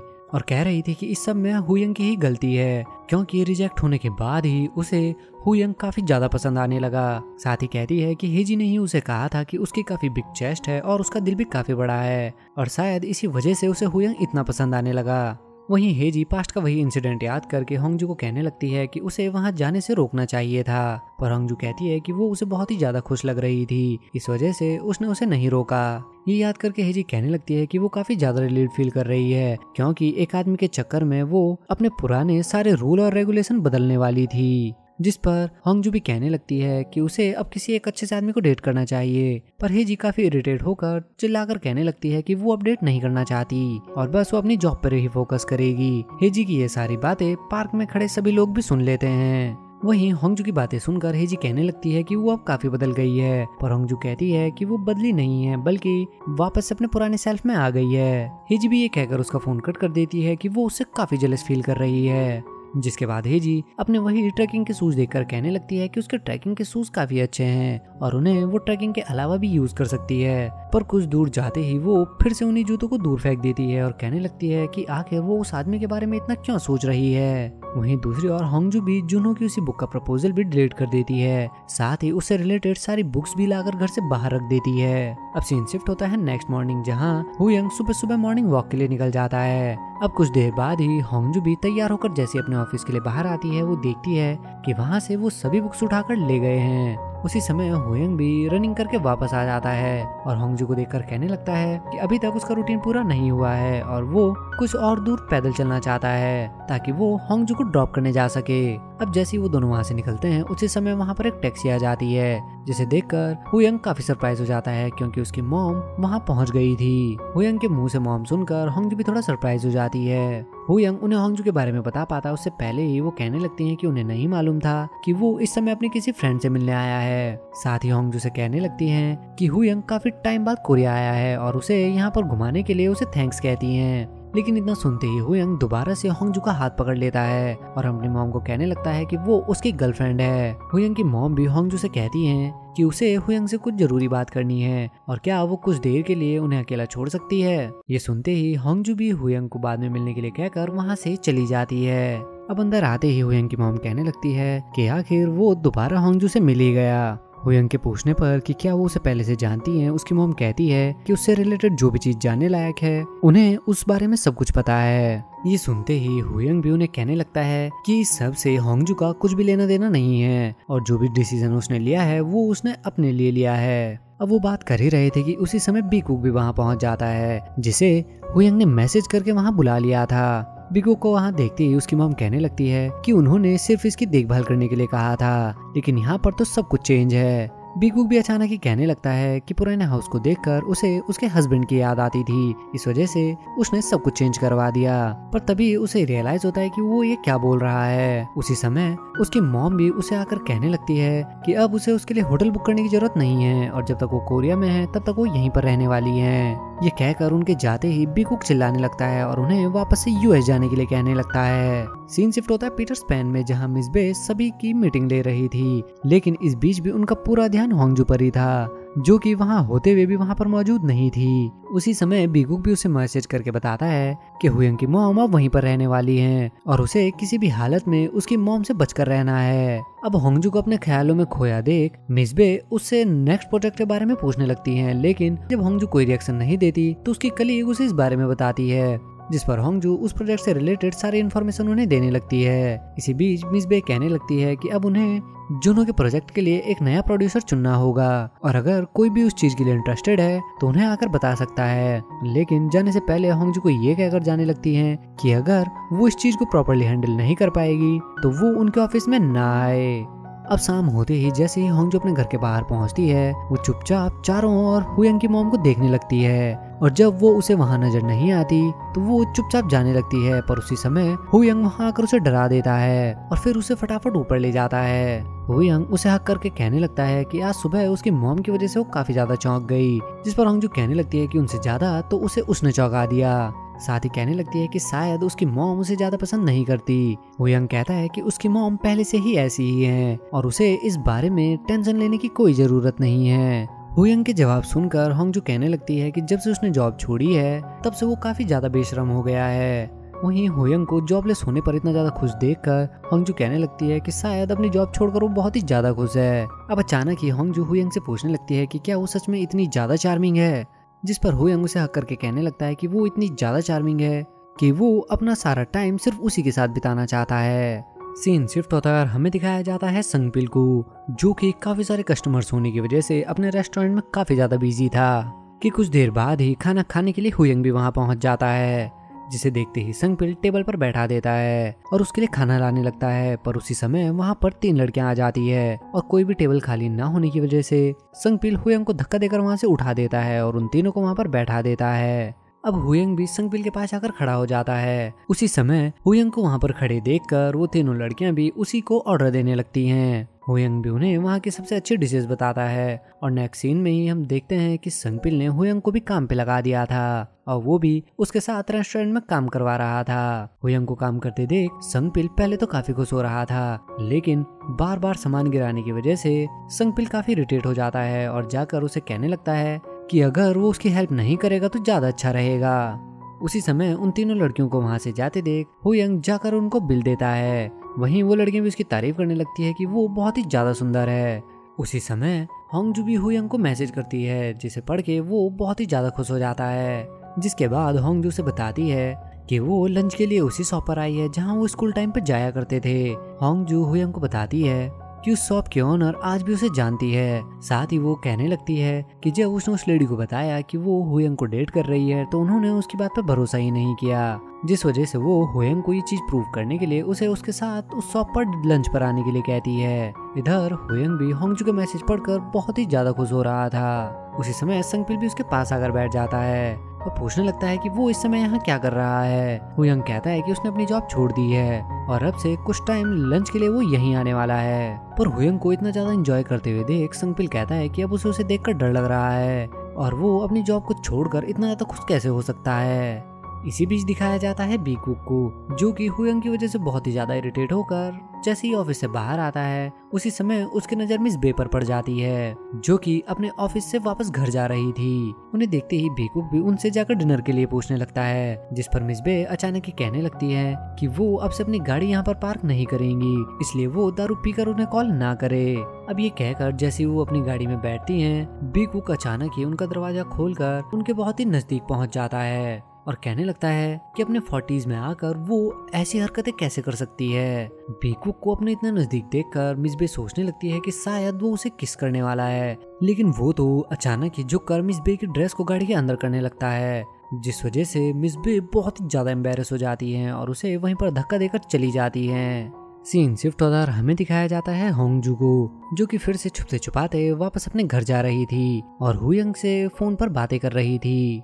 कि उसी समय वहाँ पर एक एयरप्लेन गिरता है और जैसे वो उसे देखती है तो ये उन्हीं लेटर्स के एयरप्लेन थे जो उसने बांग जुनो को भेजे थे। और तभी उसकी नज़र बांग जुनो पर पड़ती है, जो कि उसी के घर के बाहर बैठकर ये सभी एरोप्लेन उड़ा रहा था। ये देखते ही होंगजू उसके पास पहुँच जाती है और पूछने लगती है कि वो यहाँ पर ये सब क्या कर रहा है?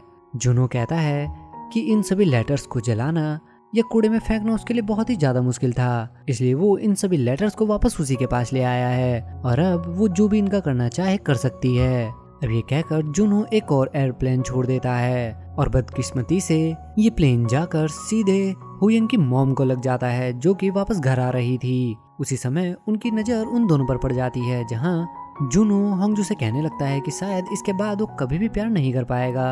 होंगजू भी कहती है कि उसे भी लगता था कि ब्रेकअप के बाद वो शायद मर जाएगी, लेकिन वो आज भी ज़िंदा है और दोबारा से वो किसी से प्यार करने लगी है। और जुनो से कहती है कि कुछ टाइम बाद वो भी बेटर फील करने लगेगा। जुनो भी ये कहते हुए वो सभी लेटर्स होंगजू को देकर चला जाता है कि ये सभी लेटर्स उसने उसे दिए थे। तो अब वो इनका कुछ भी कर सकती है। अब उसके वहाँ से जाते ही होंगजू फिर से सभी प्लेन इकट्ठे करने लगती है। और उसी समय हुयंग की मॉम भी वहाँ पहुँच जाती है, जिसे देखते ही होंगजू कहने लगती है कि शायद किसी बच्चे ने ये सभी प्लेन्स यहाँ पर फेंक दिए हैं। पर तभी उसकी मॉम कहने लगती है कि उन्हें लगता था कि वो काफ़ी क्यूट है, लेकिन शायद उसकी लव लाइफ काफ़ी ज़्यादा कॉम्प्लिकेटेड रही है। सीन शिफ्ट होता है संगपिल के रेस्टोरेंट में, जहाँ हेजी अभी भी सोन को ही याद कर रही थी। वहीं दूसरी ओर हुयंग का पूरा ध्यान अपने फ़ोन के ऊपर ही था। उसी समय चिकन को जलते हुए देखकर संगपिल आकर उन्हें कहने लगता है कि उन दोनों का ध्यान कहाँ है। हेजी भी कहने लगती है कि आज उसका कुकिंग का बिल्कुल भी मूड नहीं है। संगपिल के पूछने पर कि होंग जो अभी तक क्यों नहीं आई? हुयंग उसे कॉल करने के लिए बाहर पहुँच जाता है। होंग जो उसका कॉल तो नहीं उठाती, पर उसे मैसेज करके कहती है कि वो जल्दी वहाँ पर आ जाएगी। अब जैसे ही हुयंग अंदर आता है वो देखता है कि संगपिल और हेजी दोनों होंगजू के बारे में ही बात कर रहे थे, जहाँ संगपिल हेजी से कहता है कि क्या होंगजू से नहीं बताया कि वो जुनो के नए प्रोजेक्ट पर काम कर रही है? हेजी कहने लगती है कि भला वो इस काम को क्यों करेगी और उसे पूरा यकीन है कि वो इस ऑफ़र को डिक्लाइन कर देगी। संगपिल कहता है कि उसका चेहरे देखने से साफ़ पता चल रहा था कि वो इस प्रोजेक्ट पर काम करना चाहती है। साथ ही वो कहता है कि होयंग ने भी अपनी जॉब क्विट कर दी है। लेकिन जैसे ही वो देखते हैं कि हुयंग वहाँ पर खड़े होकर उन दोनों की बातें सुन रहा है, वो दोनों बहुत ही ज़्यादा शौक हो जाते हैं। और अगले ही पल हुयंग ये कहकर वहाँ से चला जाता है कि वो हंगजू को लेने जा रहा है। अब सीन शिफ्ट होता और हमें दिखाया जाता है कि हुयंग की मॉम होंगजू को बात करने के लिए अपने साथ ले गई थी। उसकी मॉम कहती है कि वो आपस में बहुत ही इंटरेस्टिंग तरीके से कनेक्टेड हैं। साथ ही कहती हैं कि वो ज़्यादा टाइम वेस्ट नहीं करना चाहती और कहने लगती हैं कि फ्यूचर में हुयंग ही रॉक एसिड के हेडक्वार्टर को संभालने वाला है। तो क्या उसे ऐसा नहीं लगता कि उसे हुयंग को जाने देना चाहिए? इतना सुनते ही होंगजू कहने लगती है कि वो हुयंग को यहाँ पर नहीं रोक रही है। हुयंग की मॉम भी कहने लगती है तो क्या इसका मतलब हुयंग ही है जो यहाँ पर उसके पीछे पड़ा है? ये सुनते ही होंगजू उन्हें सब कुछ एक्सप्लेन करने लगती है और कहने लगती है कि हुयंग उसके साथ बहुत ही ज़्यादा फ्लर्ट कर रहा था। साथ ही बताती है कि जब उसका एक्सीडेंट हुआ तो काफ़ी मना करने के बाद भी हुयंग ज़बरदस्ती उसका ख्याल रख रहा था। और जब उसका ब्रेकअप हुआ तो हुयंग बहुत ही ज़्यादा खुश था और सबसे पहले किस भी उसी ने किया था। साथ ही कहने लगती है कि हुयंग ही ज़बरदस्ती उसे सी साइड पर लेकर गया था और इतने ज़्यादा कूल और हैंडसम हुयंग को देखकर वो उसे मना नहीं कर पाई। हुयंग की मॉम भी पहले तो ये सुनकर काफ़ी ज़्यादा सरप्राइज़ हो जाती है और फिर कहने लगती है कि ऐसे में तो होंगजू के पास कोई भी ऑप्शन नहीं रहा होगा, पर अब वो चाहती हैं कि होंगजू इस सबको यहीं पर खत्म कर दे। होंगजू भी कहती है कि अगर उन्होंने अपनी बात कह दी हो तो वो यहाँ से जाना चाहती है। उसे जाते देख हुयंग की मॉम कहने लगती है कि क्या उसने ये सोचना छोड़ दिया है कि उसकी वजह से हुयंग क्या क्या खो सकता है? पर तभी होंगजू कहती है कि एक स्मार्ट लड़का जिसने मैथ करी हो और उसने अपना डिसीज़न बना लिया है तो क्या उन्हें ऐसा नहीं लगता कि उसके लिए उन सभी ज़्यादा चीज़ों से ज़्यादा इम्पोर्टेंट वो है? ये सुनकर उसकी मॉम भी काफ़ी ज़्यादा सरप्राइज़ हो जाती है। अब नेक्स्ट सीन में ही हुयंग भी दौड़ते हुए सीधे अपने घर के बाहर पहुँच जाता है। जहाँ उसकी नज़र होंगजू पर पड़ती है, जो कि अपने घर के बाहर ही लेटी हुई थी। अगले ही पल, हुयंग उसके पास जाकर उससे पूछने लगता है कि वो इतनी ठंड में यहाँ पर क्या कर रही है। हुयंग को देखते ही होंगजू कहने लगती है कि वो कुछ सोच रही थी, और अचानक ही कुछ लड़कियों के नाम लेकर कहने लगती है कि क्या ये सभी लड़कियाँ यूएस में उसकी एक्स गर्लफ्रेंड्स थी? हुयंग भी ये सब कुछ सुनकर काफ़ी सरप्राइज़ लग रहा था। होंगजू के कहने पर कि वो इस सब के बारे में किसी और से क्यों सुन रही है? हुयंग पूछने लगता है कि क्या वो उसकी मॉम से मिली थी? साथ ही कहने लगता है कि उसे उसके मॉम की कही किसी भी बात को इतना सीरियसली नहीं लेना चाहिए और उसे सिर्फ़ उसके ऊपर भरोसा रखना चाहिए। जिस पर होंगजू कहती है कि क्या वो उनकी इस बात को भी सीरियसली ना ले कि वो उसे वापस यहाँ लेने आई है? और क्या उसे इस बारे में सब कुछ तब पता चलेगा जब वो यहाँ से उसे छोड़कर चला जाएगा? हुयंग कहने लगता है कि उसने उसे प्रॉमिस किया है कि वो वापस नहीं जाएगा और उसे उसके ऊपर भरोसा रखना चाहिए। पर जैसे ही होंग जो कहती है कि वो इस सिचुएशन में उस पर कैसे भरोसा कर सकती है, हुयंग भी कहने लगता है कि क्या वो उस पर भरोसा नहीं करती इसी वजह से उसने उसे जुनू के बारे में नहीं बताया। होंगजू के कहने पर कि उसे जुनू के बारे में टेंशन लेने की ज़रूरत नहीं है, हुयंग कहने लगता है कि उसने देखा था कि वो जुनू की वजह से कितना ज़्यादा रोई थी और वो इस बारे में भला टेंशन क्यों नहीं लेगा। अब होंगजू पहले कहने लगती है कि उसे जुनू की अब कोई परवाह नहीं है और फिर अचानक ही हुयंग से कहने लगती है कि वो भी सेम है, क्योंकि वो भी हमेशा ही बिना बताए उसे छोड़कर चला जाता है और वो इस चीज़ को भूल गई थी। ये कहकर होंगजू काफ़ी इमोशनल होकर वापस अपने रूम में चली जाती है। वहीं ये सारी बातें सुनकर हुयंग भी काफ़ी ज़्यादा इमोशनल हो जाता है। सीन शिफ्ट होता है नेक्स्ट मॉर्निंग जहाँ हुयंग मस्त दारू पीकर सोया हुआ था। हुयंग जगता है, लेकिन वो अपने हैंगओवर की वजह से ठीक से चल भी नहीं पा रहा था। और ये सारी चीज़ वहीं पर खड़े होकर उसकी मॉम भी देख रही थी। अब जैसे ही हुयंग की नज़र अपनी मॉम पर पड़ती है, वो उनसे पूछने लगता है कि क्या वो अभी तक काम पर नहीं गई। वहीं उसकी मॉम उससे पूछने लगती है कि क्या ट्रबल क्रिएट करने से उसका यही मतलब था? हुयंग भी उनकी बात का कोई जवाब नहीं देता और फिर से ये कहकर सो जाता है कि उसकी नींद अभी तक पूरी नहीं हुई है। अब सीन शिफ्ट होता है और हमें दिखाया जाता है होंगजू को। जो कि हेजी से मिलने के लिए स्कूल के बाहर ही खड़ी थी, कि उसी समय उसके नज़र दो लड़कों पर पड़ती है, जो कि उन्हीं झाड़ियों के बीच से निकलकर बाहर आते हैं और स्कूल से बंक मार के भाग जाते हैं। ये देखते ही अचानक ही होंगजू को वही दिन याद आने लगता है, जब वो भी इस तरह से बाहर आई थी और उसके पीछे पीछे हुयंग भी मिलिट्री बेस तक पहुँच गया था, जहाँ जुनहो के ना मिलने की वजह से वो बहुत ही ज़्यादा रो रही थी। साथ ही उसे हुयंग की वही बात भी याद आती है, जब हुयंग ने उसे कहा था कि उस दिन की मेमोरीज उसके लिए बैड मेमोरीज कैसे हो सकती है, क्योंकि वो जुनहो से रिलेटेड थी ही नहीं, वो तो सिर्फ़ उन दोनों की मेमोरी थी। ये सोचकर उसे एहसास होता है कि लास्ट नाइट हुयंग ने उसे ये क्यों कहा था कि उसे उसकी बहुत ही ज़्यादा केयर है। अब हेजी के बाहर आते ही होंग जो अपना सर पकड़कर उसे कहने लगती है कि ये उसने क्या कर दिया और हुयंग के सामने न जाने उसने क्या क्या बोल दिया।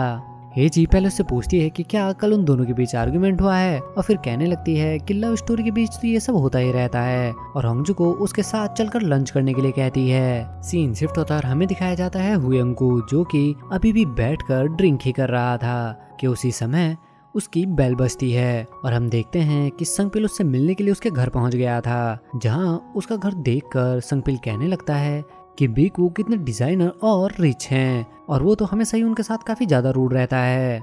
हुयंग भी संगपिल से माफ़ी माँगता है कि वो कल रात वापस उसके पास नहीं आ पाया।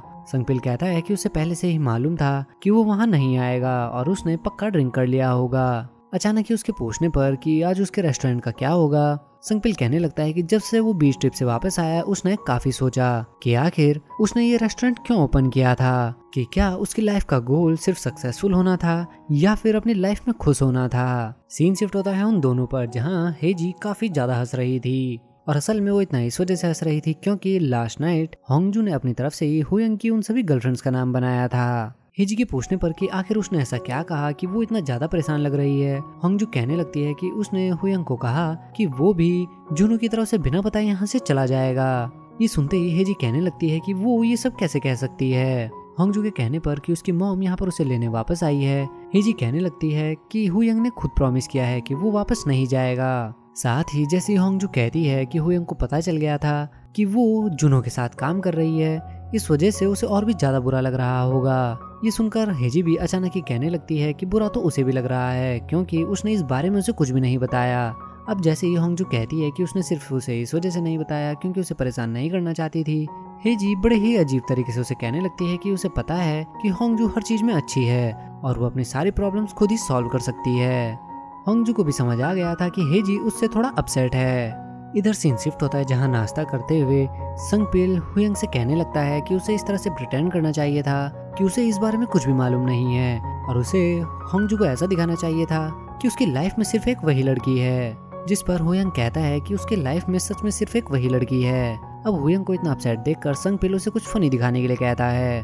पर उसे प्रॉमिस करने के लिए कहता है कि वो इस बारे में होंगजू और हेजी से कुछ नहीं कहेगा। जिसके बाद वो उन तीनों की ही ओल्ड फ़ोटोज़ उन्हें दिखाना शुरू कर देता है, जिसमें वो हेजी और होंगजू दोनों के ही बारे में उसे बताने लगता है। अब कुछ देर बाद अचानक ही संग पिल होयंग से कहने लगता है कि एक बार नशे की हालत में होंगजू ने उसे एक बात बताई थी कि उसे बार बार एक ही तरह का नाइट मेयर आता है, जिसमें वो हमेशा लोगों का पीछा करती रहती है। जहाँ उन सभी लोगों ने उसे वेट करने के लिए कहा था कि वो उससे वापस ज़रूर आकर मिलेंगे। लेकिन वो लोग हमेशा ही उसे गुड बाय बोले बिना ही चले जाते हैं। ये सुनते ही हुयंग को पास्ट का वही सीन याद आता है, जब वो बस स्टॉप पर होंगजू से मिले बिना ही वहाँ से चला गया था। साथ ही वो भी समझ गया था कि लास्ट नाइट होंगजू ने ऐसा क्यों कहा था कि वो भी बाकी सभी की तरह है और हमेशा ही बिना उसे कुछ कहे ही चला जाता है। साथ ही संगपिल कहता है कि उसके पूछने पर कि अगर वो उन लोगों से कभी मिली तो क्या कहेगी? होंगजू ने कहा था कि अगर वो उन लोगों से कभी मिल पाई तो वो उन्हें सिर्फ़ गुड बाय बोलना चाहती है, ताकि उसे कभी उनका वेट ना करना पड़े।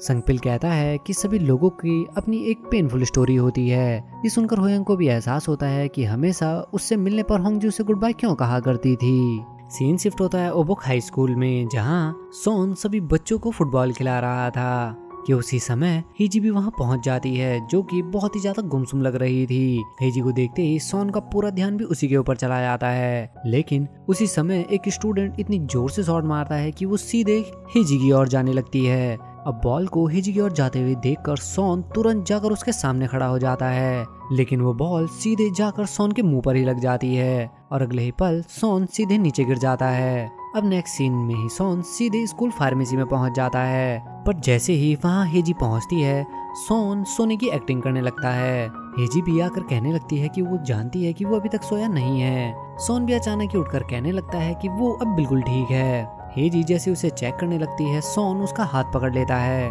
जिस पर हेजी उसे पूछने लगती है कि क्या वो अभी भी यही कहना चाहेगा कि वो उसे पसंद नहीं करता है। इतना सुनते ही सोन उसे कहने लगता है कि जब से वो यहाँ आया था, वो सिर्फ़ उसे ही पसंद करता है। सोन उसे आई लव यू बोलने की कोशिश करता है, लेकिन उसी समय उसे हिचकी आने लगती है। काफ़ी कोशिश करने के बाद भी जब वो ठीक से नहीं बोल पाता तो वो चिल्लाकर उसे ज़ोर ज़ोर से बोलने लगता है और फिर अगले ही पल उसे किस कर देता है। सीन शिफ्ट होता है हमें दिखाया जाता है हुयंग की मॉम को, जो घर आकर देखती हैं कि हुयंग ने चारों ओर दारू की बोतल सी रखी हुई है। वो अभी ये सब कुछ देख रहे थे कि उसी समय संगपिल भी नशे की हालत में बाहर आता है। वो उन्हें देखकर पहले हेलो कहता है और फिर गुड बाय कहकर जैसे ही जाने लगता है। उसकी मॉम उससे पूछने लगती है कि वो कौन है और यहाँ क्या कर रहा है। संगपिल कहता है कि वो हुयंग का बेस्ट फ्रेंड है और वो हाई स्कूल में उसके साथ पढ़ा करता था। अब हुयंग की मोम के पूछने पर कि वो कहाँ है, संगपिल कहता है कि वो अभी यहीं पर था, लेकिन अब वो यहाँ नहीं है। और ये कहकर वहाँ से जाने लगता है कि उसे उसके बारे में अभी नहीं पता। अभी सुनते ही उसकी मॉम को भी एहसास होता है कि शायद वो ऊपर ही गया होगा। अब नेक्स्ट सीन में उसकी मॉम भी ऊपर पहुँच जाती है, जहाँ हुयंग नशे की हालत में वहीं पर बैठा हुआ था। अपनी मोम को वहाँ देखते ही हुयंग कहने लगता है कि जो लड़की यहाँ पर रहती है, उसने उसे बहुत ही ज़्यादा रुलाया है। साथ ही अपनी मोम से पूछने लगता है कि क्या कोरिया से जाने के बाद उन्हें कभी इस चीज़ का रिग्रेट हुआ या फिर कभी उन्होंने कोरिया को मिस किया, जिस पर उसकी मोम मना कर देती है। ये सुनते ही हुयंग कहने लगता है कि हाल ही में उसे रियलाइज़ हुआ कि उसके पास्ट की ज़्यादा मेमोरीज नहीं है और उसके पास सिर्फ़ कुछ ही मेमोरीज हैं। साथ ही कहता है कि जब भी वो बहुत ही ज़्यादा उदास होता था तो उन मेमोरीज को याद करके बहुत ही ज़्यादा बेटर फील करता था। पहले उसे इस चीज़ का रीजन नहीं पता था, लेकिन कोरिया में वापस आने के बाद उसे एहसास हुआ कि वो कोरिया को बहुत ही ज़्यादा मिस करता था और उससे भी ज़्यादा मिस वो होंगजू को करता था, क्योंकि वो हमेशा से ही होंगजू को बहुत ही ज़्यादा पसंद करता था। साथ ही वो अपनी मॉम को पहले अंदर जाने के लिए कहकर वहाँ से चला जाता है। दूसरी ओर दिखाया जाता है होंगजू को, जहाँ काम करते हुए भी उसका पूरा ध्यान क्लॉक पर ही था और छह बजते ही होंगजू तुरंत अपना सामान उठाकर दौड़ते हुए वहाँ से निकल जाती है, ताकि वो हुयंग से जाकर मिल सके। अब हुएंग से जाकर मिलने की जल्दी में वो बस एक स्कूटर से टकराने ही वाली होती है, कि उसी समय हुएंग वहाँ आकर उसे बचा लेता है। और उससे पूछने लगता है कि वो इतनी जल्दी में कहाँ जा रही है? और वो तो उसे ही मिलने आ रहा था। हुयंग को वहाँ देख कर होंगजू भी बहुत ही ज़्यादा इमोशनल हो जाती है। यहीं पर हमें एक एपिलॉग भी दिखाया जाता है, जहाँ हेजी और होंगजू उसी ओल्ड लेडी की शॉप में लंच कर रहे थे, जहाँ हेजी होंगजू को उसके साथ यूरोप ट्रिप पर चलने के लिए कहती है। पर होंगजू कहती है कि उसे रिसेंटली एक जॉब मिली है, इसलिए वो उसके साथ नहीं आ पाएगी। उसी समय संगपिल भी वहाँ पहुँच जाता है, जिसे देखकर वो दोनों ही काफ़ी शौक हो जाते हैं। संगपिल कहने लगता है कि उन तीनों का टेस्ट बिल्कुल सेम है। साथ ही कहता है कि अगर हुयंग यहाँ पर होता तो और भी ज़्यादा अच्छा होता। अब हेजी और संगपिल दोनों आपस में इस चीज़ को लेकर लड़ने लगते हैं कि हुयंग के जाने की वजह से उन दोनों में से कौन ज़्यादा दुखी है। पर तभी उनकी नज़र होंगजू पर पड़ती है, जो कि बहुत ही ज़्यादा इमोशनल होकर रोना शुरू कर देती है। वो दोनों भी नहीं समझ पा रहे थे कि आखिर होंगजू क्यों रो रही है। उससे पूछने पर होंगजू कहती है कि अचानक से उसे अपने हार्ट में पेन फील हुआ। साथ ही होंगजू कहती है कि उसे पहले एहसास नहीं हुआ, लेकिन हुयंग के जाने के बाद उसे याद करके वो बहुत ही ज़्यादा बार रोई है। पार्ट की शुरुआत उसी सीन के साथ होती है, जहाँ हुयंग से मिलने के लिए होंगजू दौड़ते हुए सीधे अपने घर की ओर जा रही थी। होंग जू से मिलने के लिए इतनी ज़्यादा जल्दी में थी कि वो एक स्कूटर से बस टकराने ही वाली होती है, कि उसी समय हुयंग वहाँ आकर उसे बचा लेता है और उससे पूछने लगता है कि वो इतनी जल्दी में कहाँ जा रही है। साथ ही कहता है कि वो तो उससे ही मिलने आ रहा था। हुयंग को देखकर होंगजू काफ़ी ज़्यादा इमोशनल हो जाती है और पहले उसके कपड़े देखकर पूछने लगती है कि वो इतने ठंड में से क्यों घूम रहा है। हुयंग के कहते ही कि वो उससे मिलने की बहुत ही ज़्यादा जल्दी में था। होंग जो हुयंग से पूछने लगती है कि क्या वो उस पर गुस्सा नहीं है? और फिर हुयंग से माफ़ी मांगने लगती है। होयंग भी होंगजू को गले लगा लेता है और फिर अपनी सारी मिस्टेक्स के लिए माफ़ी मांगने लगता है। पर होंगजू कहती है कि इसमें उसकी कोई गलती नहीं है। साथ ही कहती है कि अपने उस प्रोजेक्ट की वजह से वो बहुत ही ज़्यादा एंशियस हो गई थी और इसी वजह से उसने इस चीज़ की सारी रिस्पॉन्सिबिलिटी उसी के ऊपर डाल दी। अब होंगजू की बातें सुनकर अचानक ही हुयंग उसे देखता है और कहने लगता है कि उसका फेस देखकर अब उसकी सारी प्रॉब्लम सॉल्व हो गई है और अब सब कुछ ठीक है। उसकी बातें सुनकर होंगजू भी कहने लगती है कि वो उसे बहुत ही ज़्यादा लाइक करती है। अब सीन शिफ्ट होता है जहाँ वो दोनों ही होंगजू के घर के बाहर पहुँच चुके थे। हुयंग कुछ और देर उसके साथ बिताने की कोशिश करता है, पर होंगजू उसे ठंड से बचने के लिए घर जाने के लिए कहती है। पर फिर अचानक ही जाने से पहले होंगजू से पूछने लगती है कि क्या वो उसके साथ रामेन खाना पसंद करेगा? ये सुनते ही हुयंग भी तुरंत अंदर पहुँच जाता है। जहाँ जाते ही पहले होंगजू ठंड से बचने के लिए उसे एक छोटा सा ब्लैंकेट देती है और फिर जैसे ही रामेन निकालने लगती है, हुयंग उसके बहुत ही ज़्यादा नज़दीक आ जाता है। और हुयंग को अपने इतना नज़दीक देखकर होंगजू चिल्लाते हुए कहने लगती है कि वो उसके इतने नज़दीक क्यों आ रहा है? और उसने यहाँ पे सिर्फ़ उसे रामेन खाने के लिए ही बुलाया है। हुयंग भी उसे टीज करने लगता है कि वो तो सिर्फ़ रामेन के लिए ही आया है तो वो किस बारे में सोच रही है? जिसके बाद वो दोनों ही मिलकर रामेन बनाने लगते हैं। लेकिन इस बीच भी होंगजू हुयंग से अपनी पूरी दूरी बनाए रखती है। अब जैसे ही वो खाने के लिए बैठते हैं, होंगजू उसकी तारीफ़ करने लगती है कि वो हर चीज़ में बिल्कुल परफेक्ट है। तो वो यहाँ रहकर यूएस में अपनी इतनी सारी अपॉर्चुनिटीज़ को क्यों गंवाना चाहता है? वो यंग से कुछ कहने की कोशिश करता है, लेकिन होंगजू से बोलने का मौका ही नहीं देती और कहने लगती है कि वो लगभग हर चीज़ में अच्छा है और वो नहीं चाहती कि सिर्फ़ उसकी वजह से वो अपने ड्रीम्स पर गिव अप कर दे। पर तभी हुयंग कहने लगता है कि रिसेंटली उसे पता चला है कि वो बहुत सी चीज़ों में अच्छा नहीं है। साथ ही कहता है कि उसके साथ रहने पर उसे अपने नए ड्रीम्स पता चल गए हैं और कहने लगता है कि वो यहाँ रहकर होंगजू को गेम्स में हराना चाहता है, उसे नई नई जगह पर घुमाने लेकर जाना चाहता है और उसके साथ अपनी एक फ़ोटो भी क्लिक कराना चाहता है। और अब यही सब उसके ड्रीम्स हैं। अब ये सारी बातें सुनकर एम्बेरस होकर जैसे ही होंगजू थोड़ा क्यूट बनने की कोशिश करती है, इस चक्कर में वो हुयंग को नीचे ही गिरा देती है और खुद उसके ऊपर गिर जाती है। अब जहाँ होंगजू से पूछने लगती है कि कहीं उसे चोट तो नहीं लगी, हुयंग कहने लगता है कि क्या उसने ये जानबूझकर पर्पस से किया है? होंगजू के मना करने के बाद भी हुयंग कहने लगता है कि अब जब उसने उसे नीचे गिरा दिया है तो उसे इसकी भरपाई भी करनी होगी, और फिर अचानक ही होंगजू को किस कर देता है। और जब होंगजू से रोकने की कोशिश करती है तो वो उसे हक करके ज़मीन पर ही लेट जाता है। अब डिनर होने के बाद होंगजू के पूछने पर हुयंग उसे बताने लगता है कि जब वो इलेवेंथ ग्रेड में था, तब उसके मॉम और डैड दोनों का डाइवोर्स हो गया था। और वो इस चीज़ से इतना ज़्यादा हर्ट थी कि वो दोबारा कभी कोरिया वापस आना भी नहीं चाहती थी। इसी बीच दिखाया जाता है हुएंग की मॉम को, जो कि अचानक ही किसी को कॉल करके उनकी मीटिंग एक लॉ फर्म के साथ फिक्स करने के लिए कहती है। अब सीन शिफ्ट होता है नेक्स्ट मॉर्निंग जहाँ वो दोनों ही चुपके चुपके होंगजू के घर से बाहर आ रहे थे। हुयंग को नींद में देखकर होंगजू कहने लगती है कि उसे सुबह होते ही अपने घर में वापस चले जाना चाहिए था। पर हुयंग कहने लगता है कि उसने उसका हाथ इतना टाइट पकड़ा था कि वो उसे छोड़कर जा ही नहीं पाया। पर जैसे ही वो दोनों नीचे आते हैं, वो हुयंग की मोम को वहाँ पर खड़े देखकर बहुत ही ज़्यादा शौक हो जाते हैं और अपनी मोम को देखते ही हुयंग की नींद भी भाग जाती है। उन दोनों को साथ देखकर उसकी मोम भी थोड़ा सरप्राइज़ होती हैं, लेकिन फिर बिना कुछ कहे वहाँ से चली जाती हैं। यंग होंगजू के साथ चलने के लिए कहता है, लेकिन होंगजू उसे जाकर सोने के लिए कहती है और खुद पैदल पैदल ऑफ़िस निकल जाती है। अब नेक्स्ट सीन में ही हम देखते हैं कि होंगजू उसकी मॉम के पीछे पीछे ही चल रही थी, जिसे देखकर अचानक ही उसकी मॉम पूछने लगती है कि वो उसका पीछा क्यों कर रही है? होंगजू कहती है कि वो उनका पीछा नहीं कर रही है और फिर अचानक ही उनके आगे चलने लगती है। अब कुछ दूर जाते ही होंगजू को अपने साथ चलते हुए देखकर अचानक ही वो उससे पूछने लगती हैं कि आखिर वो क्या करना चाहती है? जिस पर होंगजू अचानक ही उन्हें मदर कहकर उनसे लास्ट नाइट के लिए माफ़ी मांगती है। उसके मुँह से मदर सुनकर हुयंग की मोम भी काफ़ी सरप्राइज़ हो जाती हैं और उससे पूछने लगती है कि आखिर उन दोनों का क्या रिलेशन है? होंगजू कहती है कि वो हुयंग को बहुत ही ज़्यादा पसंद करती है। इसलिए वो उसकी मॉम को भी पसंद करेगी। साथ ही कहने लगती है कि जो उन दोनों का रिलेशनशिप है, उस हिसाब से उसे भी उन्हें मॉम ही बुलाना चाहिए। वो कहती हैं कि वो उन्हें मिस बीक बुला सकती है, पर होंगजू कहती है कि ये बहुत ही ज़्यादा इनफॉर्मल हो जाएगा। ये सुनकर हुयंग की मॉम भी उससे कहने लगती है कि क्या वो उसके साथ फाइट करना चाहती है? पर होंगजू तो फिर से उन्हें ये कहकर चली जाती है कि वो ऐसा कुछ भी नहीं करना चाहती।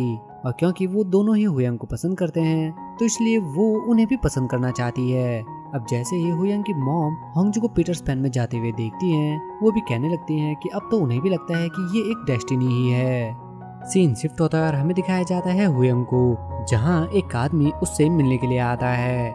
वो हुयंग को देखकर कहने लगता है कि उसने तो कहा था कि वो वापस कोरिया कभी नहीं आएगा। साथ ही कहने लगता है कि अभी तक ये रूमर्स पूरे कोरिया में फैल चुके हैं और मिस्टर ओ उसे एक बहुत ही अच्छा ऑफ़र देने वाले हैं, जिसे उसे मना नहीं करना चाहिए। साथ ही कहने लगता है कि क्या उसकी मॉम इस बारे में जानती हैं? होयंग भी कहने लगता है कि उसकी मॉम ये अच्छे से जानती है कि वो किस किस चीज़ के लिए कैपेबल है। साथ ही कहने लगता है कि वो मिस्टर ओ का ऑफ़र क्यों लेगा?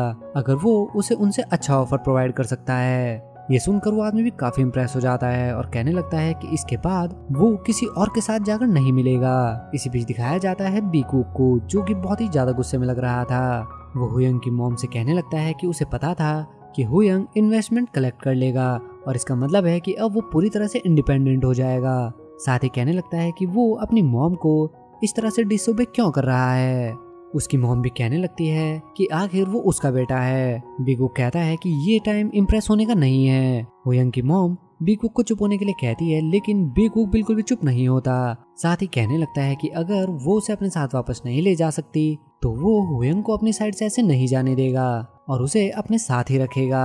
इसी बीच सीन शिफ्ट होता है ओबोक हाई स्कूल में, जहाँ सोन अपने कुछ टीचर फ्रेंड्स के साथ बातचीत कर रहा था। इसी बीच एक टीचर सोन से पूछने लगता है कि क्या उसने कभी अपनी हनीमून डेस्टिनेशन के बारे में सोचा है? पर उसी समय एक और टीचर कहती है कि भला वो इस बारे में क्यों सोचेगा? उसकी तो कोई गर्लफ्रेंड भी नहीं है। ये सुनकर सोन भी उसके हाँ में हाँ मिला देता है और कहता है कि उसकी कोई गर्लफ्रेंड नहीं है। लेकिन हेजी जो कि वहीं पर बैठकर उनकी ये सारी बातें सुन रही थी, ये सब कुछ सुनकर वो बिल्कुल भी खुश नहीं लग रही थी। और अगले ही पल, वो सोन से कहती है कि उसे, उनसे कुछ ज़रूरी बात करनी है। अब बाहर आते ही हेजी उसे कहने लगती है कि वो अब ऐसा और नहीं कर सकती। साथ ही कहने लगती है कि डेटिंग करना कोई क्राइम नहीं है तो वो सब लोगों से इस बारे में क्यों छुपा रहे हैं? सोन कहने लगता है कि अगर सबको इस बारे में पता चल गया तो पूरे स्कूल में उसके बारे में रूमर्स फैल जाएँगे और वो ऐसा नहीं चाहता। पर हेजी कहने लगती है कि जब से उन्होंने डेटिंग शुरू की है, तब से वो पहले से भी कम बात करने लगा है। साथ ही जब भी उसे देखता है, वो उसे अवॉइड करता है। सोन कहता है कि वो इन चीज़ों को छुपाने में इतना अच्छा नहीं है। जिस पर हेजी उसका हाथ पकड़कर कहने लगती है कि इसलिए उन्हें अब ये चीज़ सबसे नहीं छुपानी चाहिए, और अगर रूमर्स फैल भी गए तो भला उससे क्या ही होगा।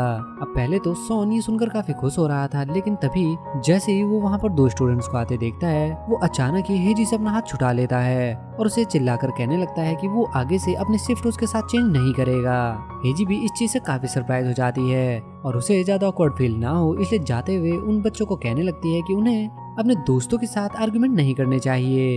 सीन शिफ्ट होता है हमें दिखाया जाता है उन दोनों को, जो कि होंगजू के घर में ही थे। अब जहाँ होंगजू का पूरा ध्यान एक कॉमिक पढ़ने पर था, वहीं हुयंग का पूरा ध्यान होंगजू के ऊपर था। अब हुयंग को उसे इस तरह से घूरते हुए देखकर होंगजू से अपना मुँह छुपाने लगती है। पर हुयंग कहने लगता है कि वो उसे कॉमिक पढ़ने में डिस्टर्ब नहीं कर रहा है और वो सिर्फ़ उसका फेस देखना चाहता है क्योंकि कॉमिक से ज़्यादा उसके लिए उसका फेस इंटरेस्टिंग है। अब काफ़ी कोशिश करने के बाद भी जब होंग जो अपने फेस से बुक नहीं हटाती तो हुयंग वहीं पर सोने लगता है। अब उसे सोते देख देखकर होंगजू भी अपनी कॉमिक छोड़कर हुयंग के फेस को निहारने लगती है।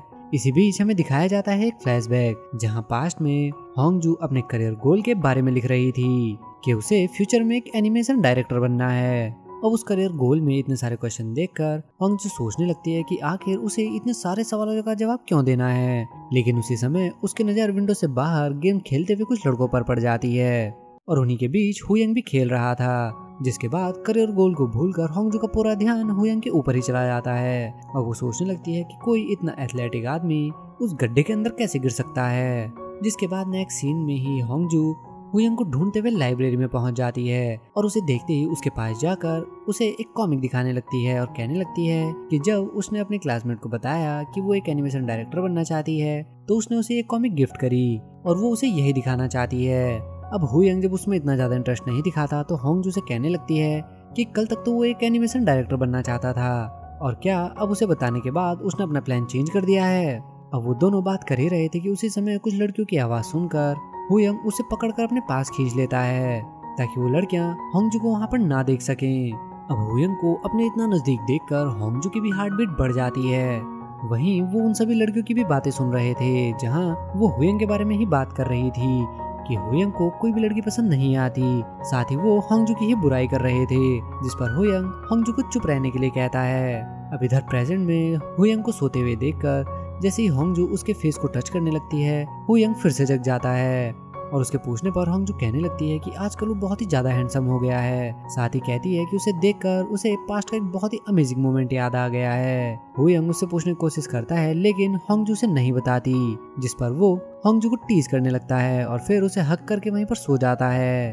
अब सीन शिफ्ट होता है नेक्स्ट मॉर्निंग और दिखाया जाता है होंगजू को, जो कि अभी भी वही कॉमिक पढ़ रही थी। पर जैसे ही उसकी नज़र विंडो से बाहर स्नोफॉल पर पड़ती है, उसे देख कर होंगजू बहुत ही ज़्यादा खुश हो जाती है। उसी समय जैसे ही उसकी डोरबेल बजती है, वो हुयंग समझकर जैसे ही बाहर पहुँचती है, वो देखती है कि ये हुयंग नहीं बल्कि उसकी मॉम है।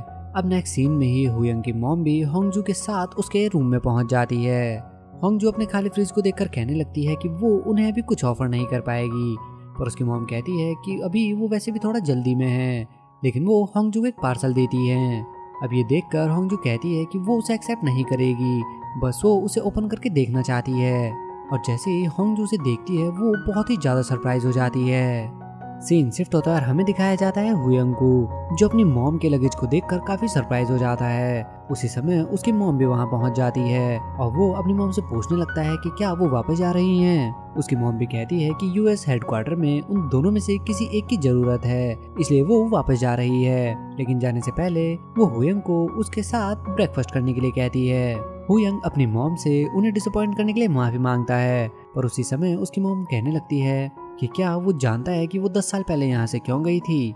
साथ ही कहने लगती है कि क्या उसे ऐसा लगता है कि दस साल पहले यहाँ से जाने का रीजन सिर्फ़ उसके फादर थे, बल्कि वो दस साल पहले इस वजह से यहाँ से गई थी, क्योंकि जो पोटेंशियल उन्हें होयंग में नज़र आई थी, वो उसे वेस्ट नहीं करना चाहती थी। साथ ही कहने लगती है कि उसे शायद ऐसा लगता है कि आज तक होयंग की लाइफ के सारे रूल्स को उन्होंने ही डिक्टेट किया है। और क्या उसे ऐसा लगता है कि उसने सारी चीज़ें खुद ही सॉल्व की हैं? उसकी मोम कहने लगती है कि भले ही उसे ऐसा लगता है कि उन्होंने कुछ नहीं किया हो, लेकिन हुयंग ने अपनी लाइफ में सिर्फ़ एक फाइनल आंसर ही दिया है। उसी समय, जैसे हुयंग का फ़ोन बजता है, उसकी मोम कहने लगती है कि उसे ये फ़ोन उठा लेना चाहिए, क्योंकि ये उनके लॉयर का ही कॉल है। जिसके बाद उसकी मोम कहने लगती है कि अब से वो उसके खिलाफ एक ऑफिशियल लॉ सूट फ़ाइल कर रही है। उसकी मॉम कहने लगती है कि उन्हें पता चला है कि हुयंग उनकी कंपनी की इंटरनेट इंफॉर्मेशन का यूज़ करके इन्वेस्टमेंट इकट्ठे कर रहा है। और जब तक उसके ऊपर ये लॉ सूट चलता रहेगा, तब तक कोई भी कंपनी उसे इन्वेस्टमेंट नहीं देगी। हुयंग भी सुनकर काफ़ी कंफ्यूज हो जाता है और कहने लगता है कि ऐसा कुछ भी नहीं है। पर उसकी मोम कहती है कि ऐसा सच है या नहीं, ये तो बाद में पता चलेगा। और उसे दस दिन में आकर उससे मिलने के लिए कहती हैं। हुयंग भी कहने लगता है कि क्या उनका इस हद तक जाना ज़रूरी है? जिस पर उसकी मॉम कहती है कि उन्होंने पहले उसे कहा था कि वो अपना डिसीज़न चेंज नहीं करेगी। ये सुनकर हुयंग भी कहने लगता है कि चाहे वो कुछ भी कर लें, लेकिन वो भी अपना डिसीज़न चेंज नहीं करने वाला है। पर उसकी बातें सुनकर भी उसकी मोम ज़्यादा परेशान नहीं लग रही थी और कहने लगती हैं कि वो भी देखना चाहती है कि हुयंग अब क्या कर सकता है। सीन शिफ्ट होता है हमें दिखाया जाता है होंगजू को, जो कि स्नोफॉल के बीच बिना छाते के ही घूम रही थी और उसका एक्सप्रेशन देखकर साफ़ पता चल रहा था कि वो किसी चीज़ से काफ़ी ज़्यादा अपसेट है। अब होंगजू पैदल चलते हुए जैसे ही कई जगहों के सामने से निकलती है, उन जगहों के साथ होंगजू से रिलेटेड उसे अपनी सारी मेमोरीज याद आने लगती हैं।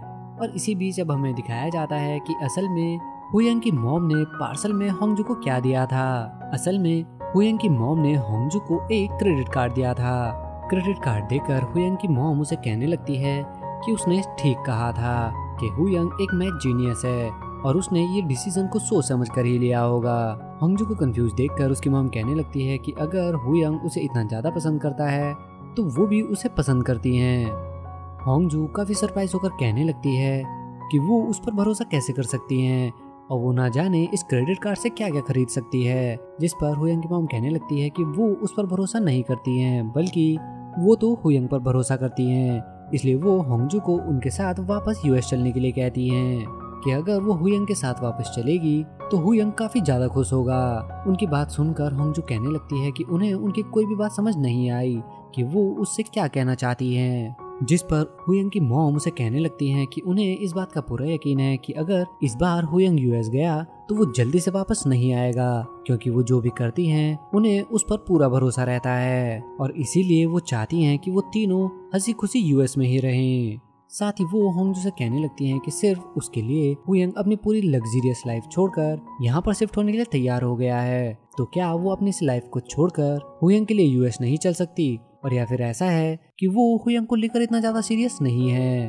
अब इधर प्रेजेंट में होंगजू इन्हीं सब बातों में खोई हुई थी कि उसी समय उसके टीचर मिस्टर किम भी वहाँ पहुँच जाते हैं, जो कि होंगजू को ऐसे कपड़ों में देखकर कहने लगते हैं कि वो इतनी ठंड में ऐसे क्यों घूम रही है, साथ ही उसे ट्रीट पर लेकर जाने लगते हैं, जिस पर होंगजू कहने लगती है कि आज वो उन्हें ट्रीट देना चाहती है। जिसके बाद होंगजू वहाँ जाकर काफ़ी सारा सामान खरीद लेती है और वही क्रेडिट कार्ड देकर कहने लगती है कि वो आज इसे ज़रूर यूज़ करना चाहती है। अब सीन शिफ्ट होता है जहाँ मिस्टर किम उस पर चिल्लाने लगते हैं कि वो उसे कुछ छोड़कर यूएस जाने के बारे में कैसे सोच सकती है और यूएस यही पड़ोस में नहीं रखा है। होंगजू भी उन्हें एक्सप्लेन करने लगती है कि वो उस लड़के को बहुत ही ज़्यादा पसंद करती है और वो भी उसे बहुत ही ज़्यादा पसंद करता है। और वैसे भी अगर यहाँ रहें या वहाँ पर रहें, इसमें क्या ही फ़र्क पड़ता है? उसकी बातें सुनकर मिस्टर किम भी कहने लगते हैं कि अगर वो सच में यही करना चाहती है तो उसे यही करना चाहिए। और अगर कुछ गड़बड़ होती भी है तो वो वापस से कोरिया में आ सकती है। उनके ये कहने के बावजूद भी जब होंग जून से फिर से पूछने लगती है कि क्या उसे सच में यूएस जाना चाहिए मिस्टर किम कहने लगते हैं कि जो वो उसे कहेंगे क्या वो, मानेगी? और उसके कोई भी जवाब ना देने पर मिस्टर किम कहने लगते हैं कि उसने स्कूल में उसकी कोई बात नहीं मानी। तो भला अब वो उसकी बात क्या मानेगी?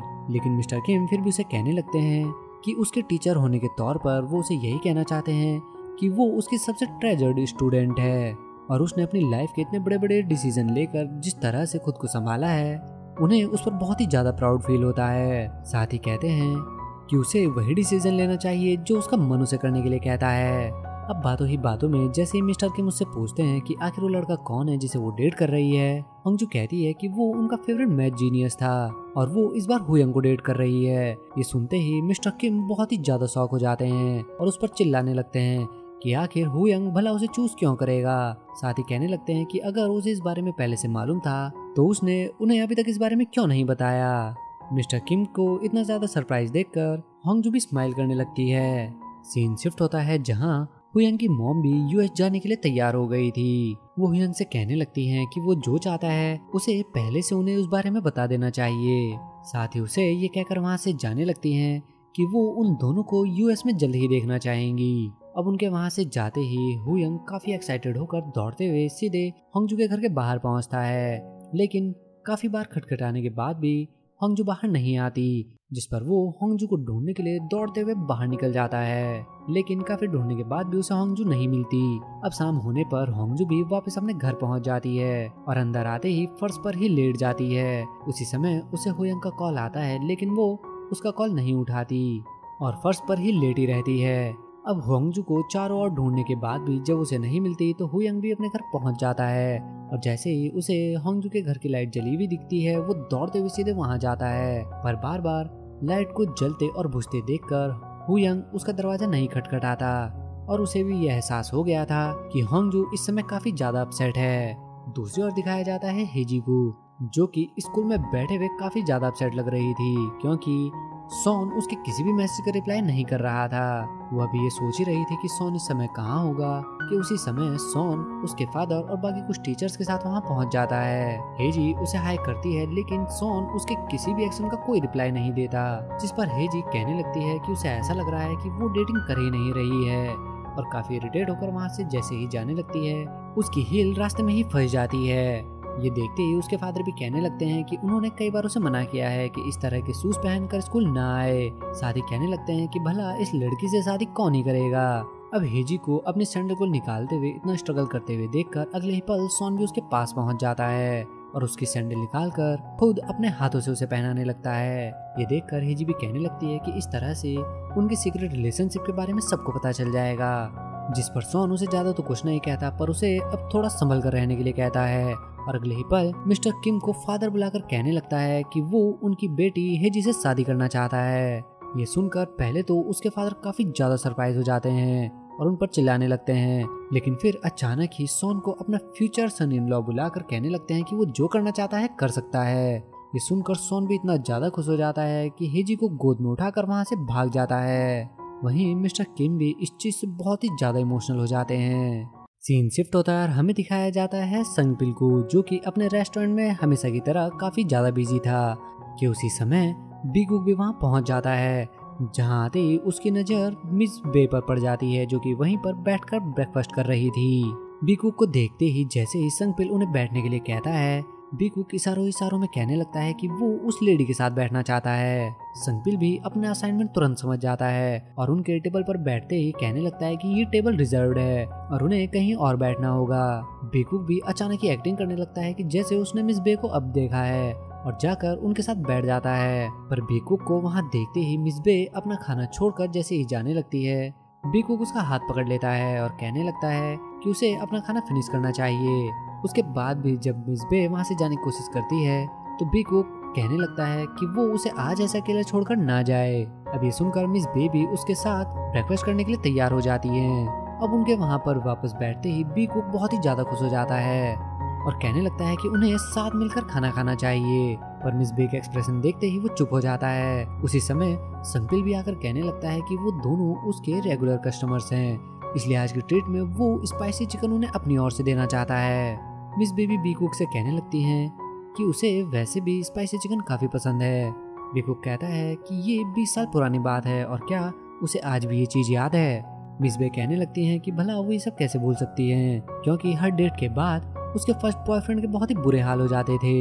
ये सुनकर बीकू भी बहुत ही ज़्यादा खुश हो जाता है, जिसके बाद वो खाते हुए ड्रिंक करना शुरू कर देते हैं। वहीं दूर से खड़े होकर संगपिल भी ये चीज़ देख रहा था। उस चीज़ को लेकर काफ़ी खुश भी था, वहीं मन ही मन सोच रहा था कि सभी लोग डेट कर रहे हैं, सिर्फ़ उसे छोड़कर। सीन शिफ्ट होता है हमें दिखाया जाता है होंगजू को, जो कि ओबुक हाई स्कूल में ही खड़ी थी, कि कुछ ही देर बाद हुयंग भी वहाँ पहुँच जाता है। जिसके बाद दोनों ही स्कूल में घूमना शुरू कर देते हैं। होंगजू कहती है कि वो दोनों एक साथ इस स्कूल में पहली बार घूम रहे हैं। साथ ही कहने लगती है कि अगर वो यहाँ पर होता तो बहुत ही ज़्यादा अच्छा होता और उनके स्कूल ईयर्स बहुत ही अच्छे बीते होते। अब होंगजू की बातें सुनकर अचानक ही हुयंग उसका हाथ पकड़ लेता है और उसे उसके साथ यूएस चलने के लिए कहता है। हुयंग कहने लगता है कि उसे नहीं लगता है कि अब वो उसके बिना जी पाएगा। साथ ही कहता है कि वो उससे दोबारा अलग नहीं होना चाहता। अब अचानक ही होंगजू भी उसे कहने लगती है कि वो उसे बहुत ही ज़्यादा पसंद करती है और कहती है कि वो उसे इस हद तक पसंद करती है कि उसे समझ नहीं आ रहा है कि अब वो क्या करेगी। होंगजू कहती है कि वो उसे दिन ब दिन और भी ज़्यादा पसंद करते जा रही है। लेकिन इसके आगे होंगजू कुछ कह पाती वुयंग कहने लगता है कि वो जानता है कि होंगजू की सारी प्रेशियस थिंग्स यहीं पर हैं और जो चीज़ उसे करना पसंद है, वो सब चीज़ें भी यहीं पर है। होंगजू भी उससे माफ़ी मांगने लगती है, जिस पर हुयंग उसे चुप कराता है और कहने लगता है कि उसका आंसर सुनकर अब वो काफ़ी बेटर फील कर रहा है। अब होंगजू को अपसेट देखकर अचानक ही हुयंग वही पुरानी बुक निकाल कर होंगजू को दे देता है और कहने लगता है कि ये बुक उसे रास्ते में आते हुए मिली। ये देखकर होंगजू भी काफ़ी सरप्राइज़ हो जाती है। हुयंग कहने लगता है कि इस बुक के साथ उनकी काफ़ी सारी मेमोरीज जुड़ी हैं तो वो इस बुक को ऐसे कैसे फेंक सकती है? जिसके बाद हुयंग होंगजू से कहने लगता है कि वो जल्द ही उसकी दुनिया में वापस आएगा और फिर उसे कभी भी खुद से दूर नहीं जाने देगा। ये सुनकर जैसे ही होंगजू फिर से रोने लगती है हुयंग उसे गले लगा लेता है और फिर कहने लगता है कि अब आज उन्हें फन करने के लिए कहाँ जाना चाहिए। अब सीन शिफ्ट होता है जहाँ होंगजू हुयंग को लेकर उसे लेडी की शॉप में पहुँच गई थी, जहाँ जाते ही होंगजू हुयंग से कहने लगती है कि उसे ये बहुत ही अच्छे तरीके से करना होगा। अब जैसे ही वो लेडी उनके टेबल पर आती है हुयंग होंगजू को घूरते हुए कहने लगता है कि शायद वो सच में पागल है, और सिर्फ़ होंगजू के लिए ही। ये देखकर वो लेडी भी काफ़ी सरप्राइज़ लग रही थी। पर तभी होंगजू कहने लगती है कि उसने बहुत ही ज़्यादा बेकार एक्टिंग करी, जिसके बाद वो दोनों ही इंजॉय करते हुए खाना खाने लगते हैं। अब नेक्स्ट सीन में ही वो दोनों हुयंग के घर पे आके एक क्रिसमस ट्री सजाने लगते हैं और उसके खत्म होते ही जैसे वो दोनों सेल्फी लेने लगते हैं, हुयंग फिर से उसे किस कर देता है। वो दोनों भी साथ में फ़ोटो खिंचाते हुए काफ़ी इंजॉय करते हैं। अब कुछ देर बाद ही वो साथ बैठकर वही एनिमेटेड मूवी देखने लगते हैं। जिसमें होंगजू ने भी काम किया था। कुछ देर तो वो साथ मूवी देखते हैं, लेकिन थोड़ी देर बाद ही होंगजू सो जाती है और हुयंग भी उसके साथ वहीं पर सो जाता है। अब सीन शिफ्ट होता है जहाँ होंगजू के रूम में हेजी उससे पूछने लगती है कि हुयंग को वापस आने में कितना टाइम लग जाएगा। होंगजू कहती है कि अगर वो जल्दी से काम खत्म कर पाया तो छह महीने में वो वापस आ सकता है और हो सकता है कि उसे आने में उससे ज़्यादा टाइम भी लग जाए। हेजी कहती है कि क्या तब तक वो उसका ऐसे ही वेट करते रहेगी? साथ ही जैसी हेजी कहती है कि उसे नहीं लगता कि उसकी मोम सच में उस पर केस करेगी, होंगजू कहने लगती है कि उसे उसकी मॉम पर पूरा भरोसा है और वो हुयंग को साथ वापस ले जाने के लिए कुछ भी कर सकती हैं। अब अचानक ही हेजी होंगजू से कहने लगती है कि वो बहुत ही अलग बिहेव कर रही है। साथ ही कहने लगती है कि अगर हुयंग यहाँ पर नहीं रुक सकता तो उसे हुयंग के साथ यूएस चले जाना चाहिए। ये सुनकर होंगजू कहने लगती है कि अगर वो यूएस चली गई तो उसके साथ कौन हैंग आउट करेगा? साथ ही संगपिल की हेल्प कौन करेगा? अब हेजी अचानक ही कहने लगती है कि उसे हुयंग पर बहुत ही ज़्यादा गुस्सा आ रहा है। और अगर उसे इस तरह से वापस जाना ही था तो उसे कोरिया में आकर होंगजू के साथ रिलेशनशिप में नहीं आना चाहिए था। अब जैसे ही हेजी कहती है कि उसे हुयंग से ब्रेकअप करके मूव ऑन कर लेना चाहिए, होंगजू से कहने लगती है कि जब से हुयंग यहाँ पर आया है, उसने अपनी लाइफ का हर एक दिन एक वेकेशन की तरह जिया है। साथ ही कहने लगती है कि अपनी लाइफ में पहली बार वो अपने हर एक दिन का बहुत ही ज़्यादा एक्साइटेड होकर वेट करती थी कि आज उसके साथ क्या एक्साइटिंग होने वाला है। साथ ही कहती है कि हुयंग के साथ बिताया उसका हर एक दिन उसकी लाइफ का सबसे अच्छा दिन है। अब हेजी के कहने पर कि जब तक हुयंग वापस नहीं आता, तब तक वो ही उसे एंटरटेन करेगी। हंगजू कहने लगती है कि उसे मिस्टर सोन के साथ डेट पर जाना चाहिए। हेजी होंगजू से कहती है कि उसे भी कुछ दिनों का ऑफ़ ले लेना चाहिए, क्योंकि उसने भी अपने काम से छुट्टी ली हुई है। सीन शिफ्ट होता है जहाँ वो सभी हुयंग के घर पर पार्टी करने के लिए पहुँच गए थे। अब एक तरफ़, सोन और हेजी एक दूसरे के साथ काफ़ी एंजॉय कर रहे थे, वहीं हुयंग का पूरा ध्यान अभी भी अपने फ़ोन पर था, जहाँ होंगजू से मैसेज करके कहती है कि उसे अपने काम की वजह से आने में थोड़ा लेट हो जाएगी। उसी समय हेजी उससे पूछने लगती है कि वो यूएस कब जाने वाला है। हुयंग कहता है कि वो अपने साथ ज़्यादा सामान नहीं लेकर आया था और वैसे भी उसे सिर्फ़ दस दिन के लिए यहाँ रहने को मिला है। उसी समय संगपिल के पूछने पर कि होंग जो अभी तक क्यों नहीं आई है हेजी कहने लगती है कि वो अपने इम्पोर्टेंट काम से अपने ऑफ़िस में रुकी है। संगपिल कहता है कि वो इतना ज़्यादा काम क्यों करती है? उसी समय हेजी कहने लगती है कि अब काम के अलावा उसके पास कुछ भी नहीं होगा, क्योंकि उसका बॉयफ्रेंड भी अब उसके पास नहीं रहने वाला है। संगपिल हुयंग से बीकुक के बारे में पूछता है, जिस पर हुयंग कहता है कि बीकुक आज वहाँ नहीं आने वाला है। इसी बीच सीन शिफ्ट होता है और हमें दिखाया जाता है बीकुक को, जो कि मिस बे के साथ डेट पर गया हुआ था। बाहर आते ही मिस बे कहने लगती है कि ऐसे स्नोई डे पर कौन लेडी चलना पसंद करती है? बीकुक भी कहने लगता है कि उन्होंने समर में डेट किया था, जिस वजह से वो ये व्यू मिस कर गए थे। ये सुनते ही मिस बे कहने लगती है कि उन्होंने विंटर में ही डेट किया था, और वो दोनों साथ में स्कीइंग करने भी गए थे। पर बीक वुक मिस बे को टीज करने के लिए कहने लगता है कि स्कीइंग पर वो उसके साथ नहीं गया था। और ये सुनकर मिस बे बहुत ही ज़्यादा जलेस हो जाती हैं कि वो स्कीइंग पर किसी और के साथ गया था। और उन्हें इतना जलेस देखकर बीक वुक भी काफ़ी एंजॉय करने लगता है। अब सीन शिफ्ट होता है जहाँ वो सभी अपने फ़र्स्ट लव के बारे में बात करने लगते हैं। इसी बीच हेजी सिंपल से पूछने लगती है कि उन्हें सबके फ़र्स्ट लव के बारे में मालूम है, लेकिन सिर्फ़ उसी के फ़र्स्ट लव के बारे में नहीं जानते। संपिल कहता है कि वो उसके फ़र्स्ट लव को नहीं जानते।